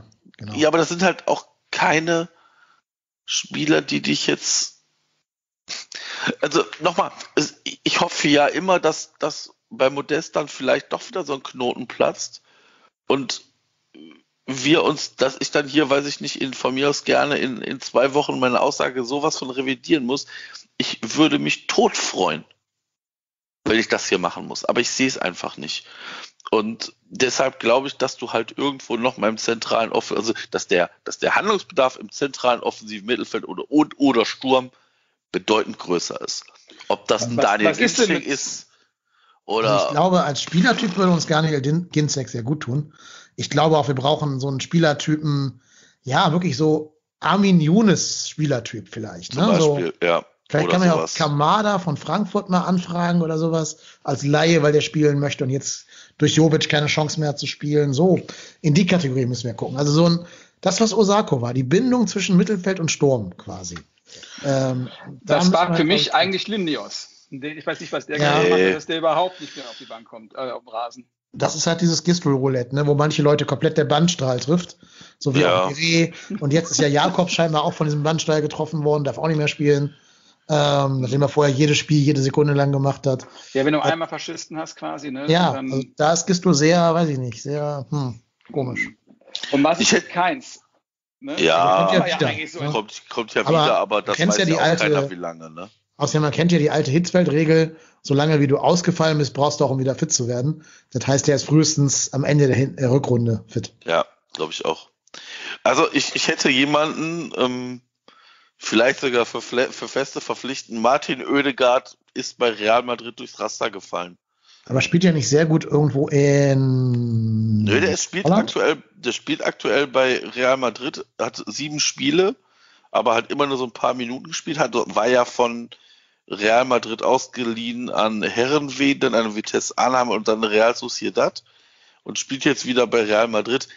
Also, sorry, das ist natürlich ein Spieler, den, den werden wir, da werden, also Arsenal äh, bietet für den wohl angeblich, also, aber das ist so ein Spieler, so irgendwie zentrale offensive Mittelfeld, hängende Spitze. Ich glaube, das würde uns schon gut tun. Ja. Ähm, wen ich mir auch noch vorstellen könnte, wäre den, den Musiala von Bayern auszuleihen. Aber leider mhm. spielt er da zu oft. Der macht da zu viele Spiele leider.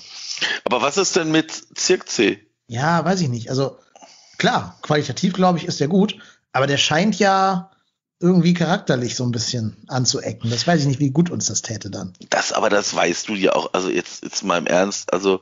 Also hat zumindest Hansi Flick hat öffentlich auf einer Pressekonferenz. Ja, gesagt. aber Hansi ja schon Flick, ja, weiß ich nicht, ob das jetzt ist aber auch eine andere Kabine, ne? Wenn du bei den Bayern ja. in Kabine sitzt, ne? oder bei den Kölnern, denkst du, ja, ich komme von den Bayern, bist, denkst du, ich bin der Held. Und wenn du bei den Bayern reingehst, denkst du, oh, Also? Joshua, äh, Joshua Zirkzee müssen wir definitiv verpflichten, weil er hat nämlich auch einen wahnsinnig tollen zweiten Namen. Ich weiß nicht, ob das der zweite Nachname oder zweite Vorname ist. Der heißt Orobosa. Okay. Ja, dann Allein kann er mit Tolo Arokodare und Oroboso können dann zusammenspielen. Ja. Ja, also weiß ich nicht. Also ich, Freut sich Jörg Dahlmann, wenn er schon so drei, drei Unterberg getrunken hat, das aussprechen zu können. ja, also Jörg Dahlmann, der, der Kelch geht ja langsam an uns vorüber. Ja, der hört auf, ne? Der hört auf. Ja, Gezwungenermaßen. Ja. ja. Durch seinen Sexismus. Warum, ne? Ja, ja. Durch seinen Sexismus-Spruch da, ne? Konnte ja, man nicht darüber lachen? Ich fand, ich habe ich hab das Spiel gesehen. Ich habe ich hab, also, ich hab drüber gelacht, weil ich ein Junge bin, gebe ich zu. Aber äh, da eine, eine rauszuschmeißen. Ich habe hab in der Sekunde auf Twitter schon geschrieben, und ist der Shitstorm schon da, weil man ja wusste, was passieren würde. Ja, also ähm, ja, ist natürlich, also Jörg Dahlmann, ich, ich kann mir vorstellen, dass, also Jörg Dahlmann ist ja jetzt, das ist ja nicht das erste Ding, was Jörg Dahlmann macht und bringt. Ja. Das ist natürlich dumm. Das ist Altherrenwitz, ne? Jörg Dahlmann ist komplett aus der Zeit gefallen. Der, das hättest du halt 1990 sagen können, dann wäre es okay gewesen. Heute ist es eben nicht mehr. Das ist, das ist so, das ist so wie Thomas Gottschalk, der früher irgendwelchen äh, ja. äh, Frauen auf dem genau. Sofa da das Knie getätschelt genau. hat. Genau. Heute, aber ich sage jetzt mal vorsichtig, ich glaube, wenn so eine Sophia Tomalla also wenn Jörg Dahmann, der Sophia Tomalla das ins Gesicht sagt, haut die dem wahrscheinlich links und rechts dann um die Ohren. Die, die lacht sagt, aus und geht weg. Was willst du denn, du alter Mann? Oder das. Na, also ich, ich glaube, ähm, ja, ich, ich glaube, sie fand das, würde ich mal behaupten, fast nicht, also fand das wahrscheinlich nicht so schlimm, wie es dann halt bei Twitter und anderen Medien gemacht wird. Das ist doch oft so, dass das gesagt wird und durch die Medien und auch durch unsere, ähm, durch den kleinen Medien wie Twitter total breit getreten werden, erste Diskussion kommt, was andere gar nicht äh, bestimmt finden. Beispiel, hier der Herr Tana-Spieler, der zur Bank meinte, fuck you. Ja, ja. Ah, das ist ja. Also Ach, schwamm drüber, mein das war ein Spiel, ne? Es ist, äh, es ist immer ein bisschen ähm, Stammschlacht auf dem Platz, ne? Das gehört dazu. Ne? Also dann darf dann, dann darf man keine Ohren mal irgendein Altherrenspiel irgendwo hinmachen, wenn da mal losgelässert wird, vor nach dem Spiel und während des Spiels. Also da muss man auch mal ja. sagen, ey, also, das, das, das sind für mich aber auch zwei getrennte Paar Schuhe, muss ich sagen. Da rede ich jetzt mal ein bisschen so als, als Pädagoge. Äh, okay, hat der, wer war das von Hertha, der jetzt gesagt hat? Kunja, ne? Kunja. Ja. Pass auf, was der da auf dem Platz gesagt hat, ist ja eigentlich so ein Streisand-Effekt. Das hat ja eigentlich niemand mitgekriegt, so lange, bis sie nachher alle darüber echauffiert haben. Auf dem Platz selber hat es ja keiner gehört, außer Gisto und so. Aber er hat doch nur, er hat doch nur Fuck you gesagt, oder? Eben, ich bin auch nicht fertig. Also er hat das, er hat das ja erstmal nur zu, auf dem Spiel gesagt und so, dass kein Mensch das hört. Also ähm, das kriegen nur die mit, die damit angesprochen waren denen ist es halt wurscht gewesen, weil auf dem Spielplatz werden oder am äh, Spielfeld werden noch viel, viel schlimmere Dinge gesagt als nur das FU. Also das mhm. ist kein Problem. Und wenn man das jetzt aufbauscht, macht man das größer, als es ist. Und erst dadurch wird es ein Thema. Und das ist halt dann wirklich so ein Streisand-Effekt. Das ist aber was anderes, als wenn das ein Kommentator on air irgendeinen sexistischen oder vielleicht auch rassistischen Scheiß sagt, wie Jörg Dahlmann, weil du damit ja allen deinen Zuhörern und auch vor allem deinen jungen Zuhörern vermittelst, dass das okay und salonfähig wäre, sowas zu sagen. Und damit ja auch so eine gewisse Objektifizierung jetzt in dem Fall von Frau Tomalla einherging. Und das kannst du halt im Privaten sagen, zu deinen Kumpels. Ist okay. Aber on air hast du ja eine andere Rolle, als du das privat hast. Und on air musst du halt schon jetzt im Jahr 2021 in der Lage sein, auch im Reden, und ich weiß, es ist schwer, wenn man jetzt so, wie wir jetzt zwei Stunden labert, da immer alles unter Kontrolle zu haben. Aber von jemandem, der es wie Jörg Dahlmann seit 100 Millionen Jahren hauptberuflich macht, muss man da halt erwarten können, dass er in der Sekunde reflektiert und merkt, oh, jetzt äh, übertrete ich hier gerade eine Linie, ich muss jetzt hier nicht meine sexuellen Gelüste gegenüber irgendeiner fremden Frau zum Ausdruck bringen und halt einfach nur erzählt, was er da auf dem Platz sieht. Das würde vollkommen reichen. Den hat ja auch keiner gezwungen, irgendwas zu Loris Karius und seiner Freundin zu sagen. Das war ja mehr so ein Fall von wegen, guck mal, ich weiß, mit wem der hier zusammen ist. ne? Mhm. Also, das ist ein Rollending. Das ist, es geht nicht mal um die Aussage an sich im neutralen Raum, es geht um die Rolle, die man hat, wenn man das öffentlich vor wie viele Millionen werden dieses Spiel gesehen haben? Weiß ich nicht. War ein Einzelspiel irgendwie. Also ich habe es auch gesehen, deswegen war es ein Einzelspiel. Irgendwie drei, vier, fünf, sechs Millionen Zuschauern zu sagen, wo auch Kinder bei sind. Ja, muss dir bewusst sein, dass du diese Rolle hast. Und wenn du dir dem nicht bewusst bist, und das wäre auch nicht sein erstes Mal und auch nicht sein letztes Mal, dann musst du als Sky da vielleicht auch sagen, wir nehmen da jemanden, der sich eher seiner Rollenfunktion bewusst ist. Ich bin ja sowieso dabei, dass Sky sich mal von manchen alten Eisen trennen soll. Absolut. Also ich freue also, mich, freue mich immer, wenn man dann Eurosport gesehen hat. Ich fand die Kommentatoren so erfrischend, auch bei, bei The Zone, ah, so erfrischend mal, äh, mal andere Meinungen zu hören und äh, andere, also Kommentare zu den Spielern und nicht immer das Gleiche. Ne? Ob es der Wolf Christian Fuse ist, der oder Marcel Reif, wie viele Jahrzehnte wir äh, denen gehört haben. Das ist dann schon so eine Sache. Ich freue mich in echt, wenn mal so ein bisschen mal da auch mal ein frisches Blut reinkommt. Ne? Ja, aber bitte nicht Frank Buschmann. Ratatatata. Nein. Der kann das gerne hier bei, bei Ninja Warrior oder ja. wann auch ich immer der für Formate macht. Ja, ja. Nicht wieder auf. Ach so, okay. Ja, ist ja. Hab, habt ihr einen Lieblingskommentatoren? Stadionton. Ja, okay. ich überlege gerade, also ich finde diesen Martin äh, Groß, heißt er, glaube ich, heißt der, ja. nicht schlecht. Äh, also nein, habe ich eigentlich nicht. Ja, ich finde Marco Hagemann ganz gut, ehrlich gesagt. Ja, Marco, stimmt, Marco Hagemann ist okay. Das Vor allen Dingen im Duo mit dem Felgenralle, also mit, mit Ralf Gunesch, finde ich ihn das gut. Stimmt, das ist, ist nicht so aufdringlich, das stimmt. Ja, und die haben auch Ahnung. Also die haben beide auch einen Blick auf ein Spiel, der mir nochmal so einen neuen Blickwinkel eröffnet, wo ich jetzt denke, ach, guck mal, hier, der macht immer das und das. Muss man darauf achten, dass der Sechser immer was weiß ich was abgibt oder so. Ähm, finde ich gut. Äh, ja, aber sonst täte ich mir auch sehr schwer. Ich also, finde auch den, der uns da heute kommentiert, der macht uns ja oft, dieser Markus Lindemann oder wie der heißt, mhm. äh, den finde ich ganz, ganz schlimm. Der ist so eine Mischung aus Schlaftablette und gleichzeitig will der keine Schlaftablette sein. Und sagt dann immer so pseudo-lustige Wolf-Christoph Fuß-Sprüche, die halt komplett unauthentisch sind, weil der es halt nicht drauf hat und das nötige Charisma dafür gar nicht hat. Ich habe mal was rausgeschrieben, was der gesagt hat. Das lese ich euch mal einfach vor. Das ist jetzt Zufall, dass ich gerade. Äh, also, aber heute, im heutigen Spiel? Oder nee, es war ein anderes Spiel und zwar, okay. vielleicht auch mhm. welches Spiel. Ähm, es war Frankfurt gegen Hertha BSC, glaube ich. Haben die gegen Hertha gespielt oder gegen Schalke? Gegen Schalke war das, glaube ich. Ähm, oder, ach, ich bin gar nicht, egal. Auf jeden Fall irgendein Spiel, wo, äh, wo Frankfurt beteiligt war. Und ich suche das gerade raus, weil ich habe es auf Twitter mit, äh, mitgelockt, sozusagen, was der gesagt hat, mitgeschrieben, Protokoll geführt. Transkribiert. Ja, pass auf. Ja, pass auf. Das war Bayer 04 Leverkusen gegen SG Eintracht Frankfurt im DFB-Pokal. Und da sagt er über den holländischen Trainer Peter Bosch von Bayer Leverkusen, sagt er folgendes. Sein Haupt ist mit einer schicken Mütze bekleidet. Der Rasenkonisseur. In den Niederlanden hat man quasi ein Patent auf flanierfähige Untergründe. Was? Ja, ich habe das mitgeschrieben, weil das so. Aber was, aber was soll denn die, was soll denn, was soll denn, was soll denn da die Aussage sein? Das frag mich doch nicht, frag das Markus Lindemann. Das, das, also das die Situation war, dass der, dass der Bosch halt über den, haben? ja, der, der Bosch geht über den Rasen vor dem Spiel vor Anpfiff und tritt mit den Füßen so ein bisschen da was platt, damit der Rasen so ein bisschen ebener ist. So, wie man das halt macht, so wenn man da über den Platz geht und sieht, oh, da ist ein, da ist ein kleiner Hubbel, Hubbel und hat dabei eben eine Mütze auf. Und dann sagt der Markus Lindemann, sein Haupt ist mit einer schicken Mütze bekleidet, der Rasenkonisseur. In den Niederlanden hat man quasi ein Patent auf flanierfähige Untergründe. Also das Bosch macht von vorne bis hinten keinen Sinn. Der Bosch hat ja eine Plät, nennt man das, ein Kölsch, eine Glatze. Äh, klar trägt eine Mütze, wenn es, wenn es draußen kalt ist. Und äh, in die meisten Spielrasen kommen, also viele Spielrasen kommen ja in der Tat aus den Niederlanden, weil die einfach guten Rasen züchten. Ja, weil die auch, weil die auch, weil die auch alle, weil die auch keine Erhebung haben. Da ist ja, da ist ja alles platt, da kannst du dann auch anpflanzen.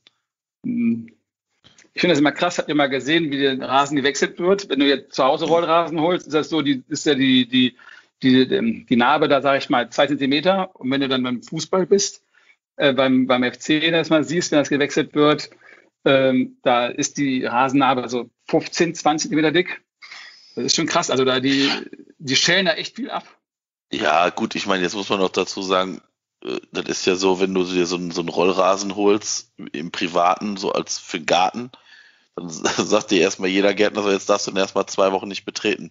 Das ist ja, ich sag mal, bei so einem Fußballrasen ja ein bisschen anders, der wird ja verhältnismäßig schnell bespielt und dementsprechend mehr Untergrund, also mehr, mehr, mehr, äh, mehr Wurzel hat das Ding ja auch. Und das sind ja auch, ich sag mal, ganz andere Belastungen, die auf so einem Rasen wirken. Also ich sage jetzt mal vorsichtig, wenn mein Sohn hier, weiß ich nicht, bei uns im Garten seine Rutsche aufstellt und da dreimal drüber rutscht über den Fläche, dann ist da aber auch schon nichts mehr zu sehen. Bei so einem Sport- und Spielrasen. Und ähm, ja, also ich, aber wie gesagt, dass, dass die Kommentatoren bei Sky eine Katastrophe sind, ich meine, das ist ja jetzt auch kein, kein Wunder. Der, der Rasenkonisseur. Das habe ich jetzt wieder was zum Einschlafen. Ne? Wen ich aber auch schlimm finde, sind diese, also nicht die Kommentatoren, sondern die Moderatoren, die dazwischen den Halbzeiten und so da immer was zum Besten bitte auswechseln. Ja, aber das, die, haben doch, die haben doch nichts zu moderieren.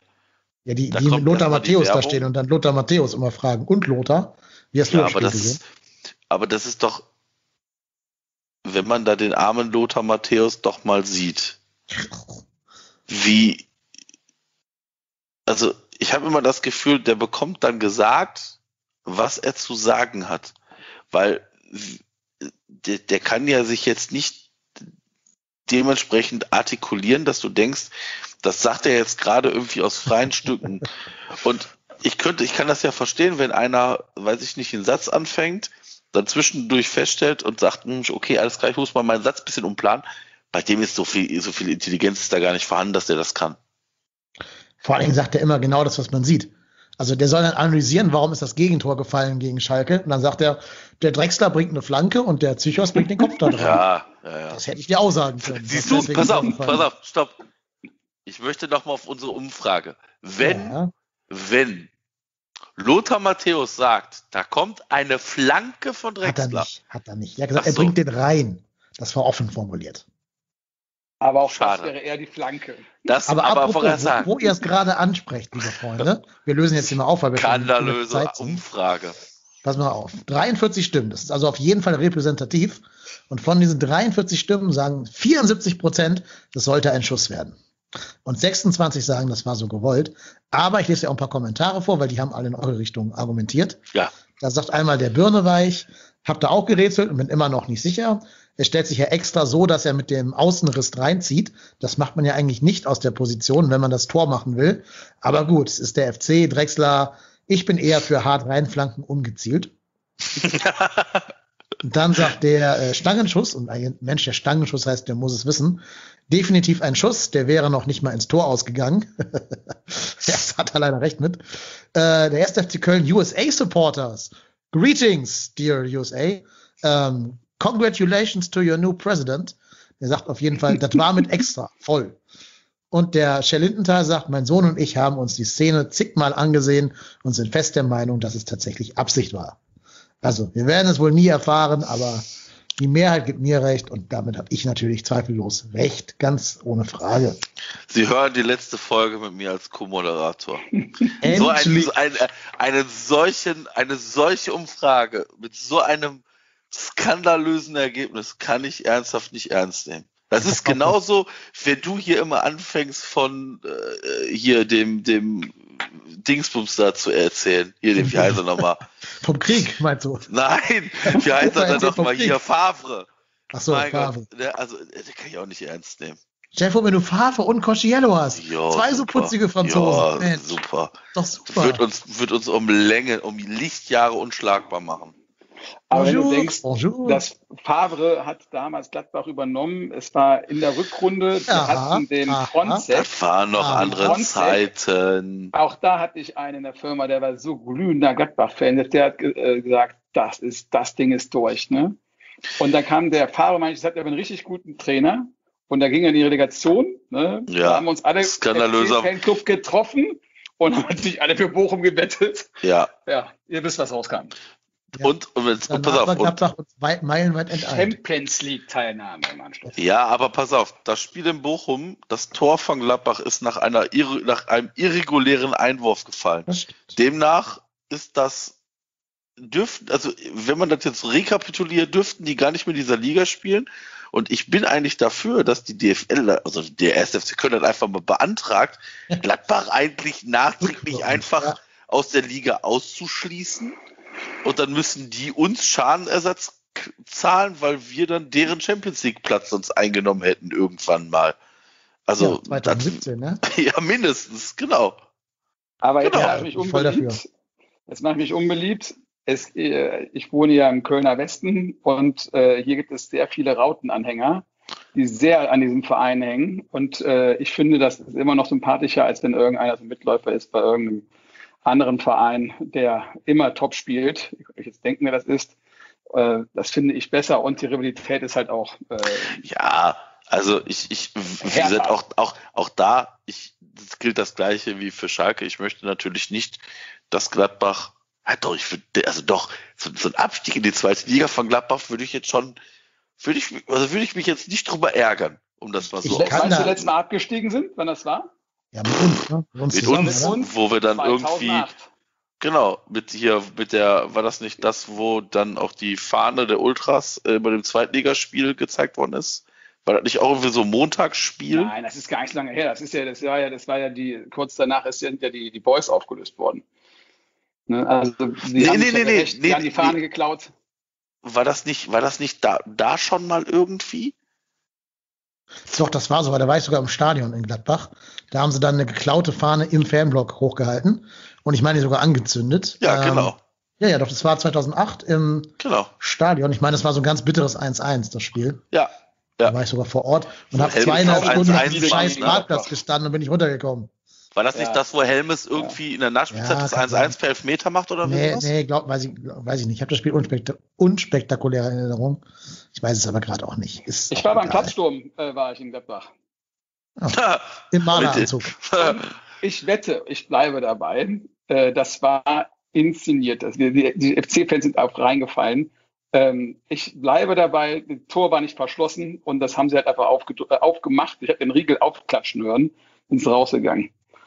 Ähm, so, habe ich nicht laut gesagt, aber ich habe echt in der Tat, äh, da sind die FCs einfach wirklich auf einen billigen Trick reingefallen. Naja, aber zu der Frage, ob, ob es gut ist, Gladbach-Fan zu sein, wenn man stattdessen Fan von irgendeinem Mitläuferverein wäre, kann ich immer nur sagen, ne, Arthur Schopenhauer, es gibt nichts Richtiges im Falschen. Und damit würde ich gerne diese Folge. Sehr philosophisch, ja. Ja, klar, ich bin ja auch noch Philo-Lehrer. Ich bin ja alles. Ich bin ja hier der, ja. der Jack of all trades. Und ich finde, damit haben wir jetzt gelernt, auch, ne? genau, damit haben wir jetzt auch wirklich diese, diese äh, Folge hier extrem rund gemacht.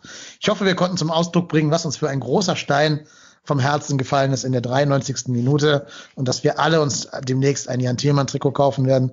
Wenn jetzt noch Bielefeld verloren hätte, wäre es ein perfekter Tag gewesen. So ist es nur ein sehr guter Tag. Ja, wir bedanken uns sehr herzlich bei unserem Gast, dem Sebastian. Schönen Dank, dass du da gewesen bist. Sehr gerne, Spaß gemacht. Ja, uns auch, genau. Wenn ihr auch mal Bock habt, hier in dem Podcast aufzutauchen, liebe Hörerinnen und Hörer, einfach eine E-Mail schreiben, info at trotzdemhier.de oder uns auf Twitter unter trotzdem hier eine Privatnachricht schreiben. Lesen tun wir das alles. Wir antworten sogar auch in 95 Prozent der Fälle, sage ich jetzt mal. Und dann könnt ihr hier gerne mal zu Gast sein. Wir sind da offen für jeden und jede. Ähm, ja, ich bedanke mich auch bei Marco, dass er da gewesen ist. Vielen Dank. Immer gerne. Nach so Spielen freut man, also nach so Spielen, wir hatten ja jetzt so viele Grottenspiele schon wieder mal hinter uns, wo wir immer mal wieder nur gefrustet sind. Es macht doch mehr Spaß, nach Siegen zu podcasten. Ja, da kann man absolut. selbst ein 3-0 von Bielefeld verkraften. Ja, das, ja. das, das Stell dir vor, wir hätten verloren und die hätten 3-0 gewonnen. Ich wollte gerade sagen. Ja, also oh, ja, oh, ja, oh, ja. ja, ich wollte gerade sagen, also das wäre. Schalke im Nacken. Ja, ja. dann ist aber hier, dann brennt das Geisburg einem von innen. Also, ja. Naja, ähm, ihr, liebe Hörerinnen und Hörer, habt jetzt von mir noch eine Hausaufgabe, wenn wir jetzt schon bei den ganzen Lehrerdingen hier sind. Ihr geht bitte alle mal auf unseren YouTube-Kanal und drückt auf den Abonnieren-Button, damit wir da mal ein paar äh, Abonnenten bekommen. Da krebsen wir so bei 38 rum oder so. Und das kann nicht sein, wenn den Podcast hier ein paar tausend Leute hören, dass da nur. Ich bin einer von den 38. Sehr löblich. Kann das, kann das nicht sein, dass es nur 38 minus einer der Ehegast ist und wir beiden wahrscheinlich eher so 35 da den Weg hinfinden. Ähm, insofern, ne? Arbeitsauftrag bitte abgeben bis nächste Woche Montag beim Lehrer eures Vertrauens auf YouTube gehen, nach trotzdem hier suchen und abonnieren drücken. Ich würde sagen, heute haben wir keinen Grund, trotzdem hier gewesen zu sein, denn heute sind wir deswegen da gewesen, wegen eines äh, 2 zu 1 Siegtortreffers in der 93. Minute. Marco, du bist der Tennis, ich bin KY Lennep und wir sind hiermit raus. Macht es gut. Tschö. Tschö.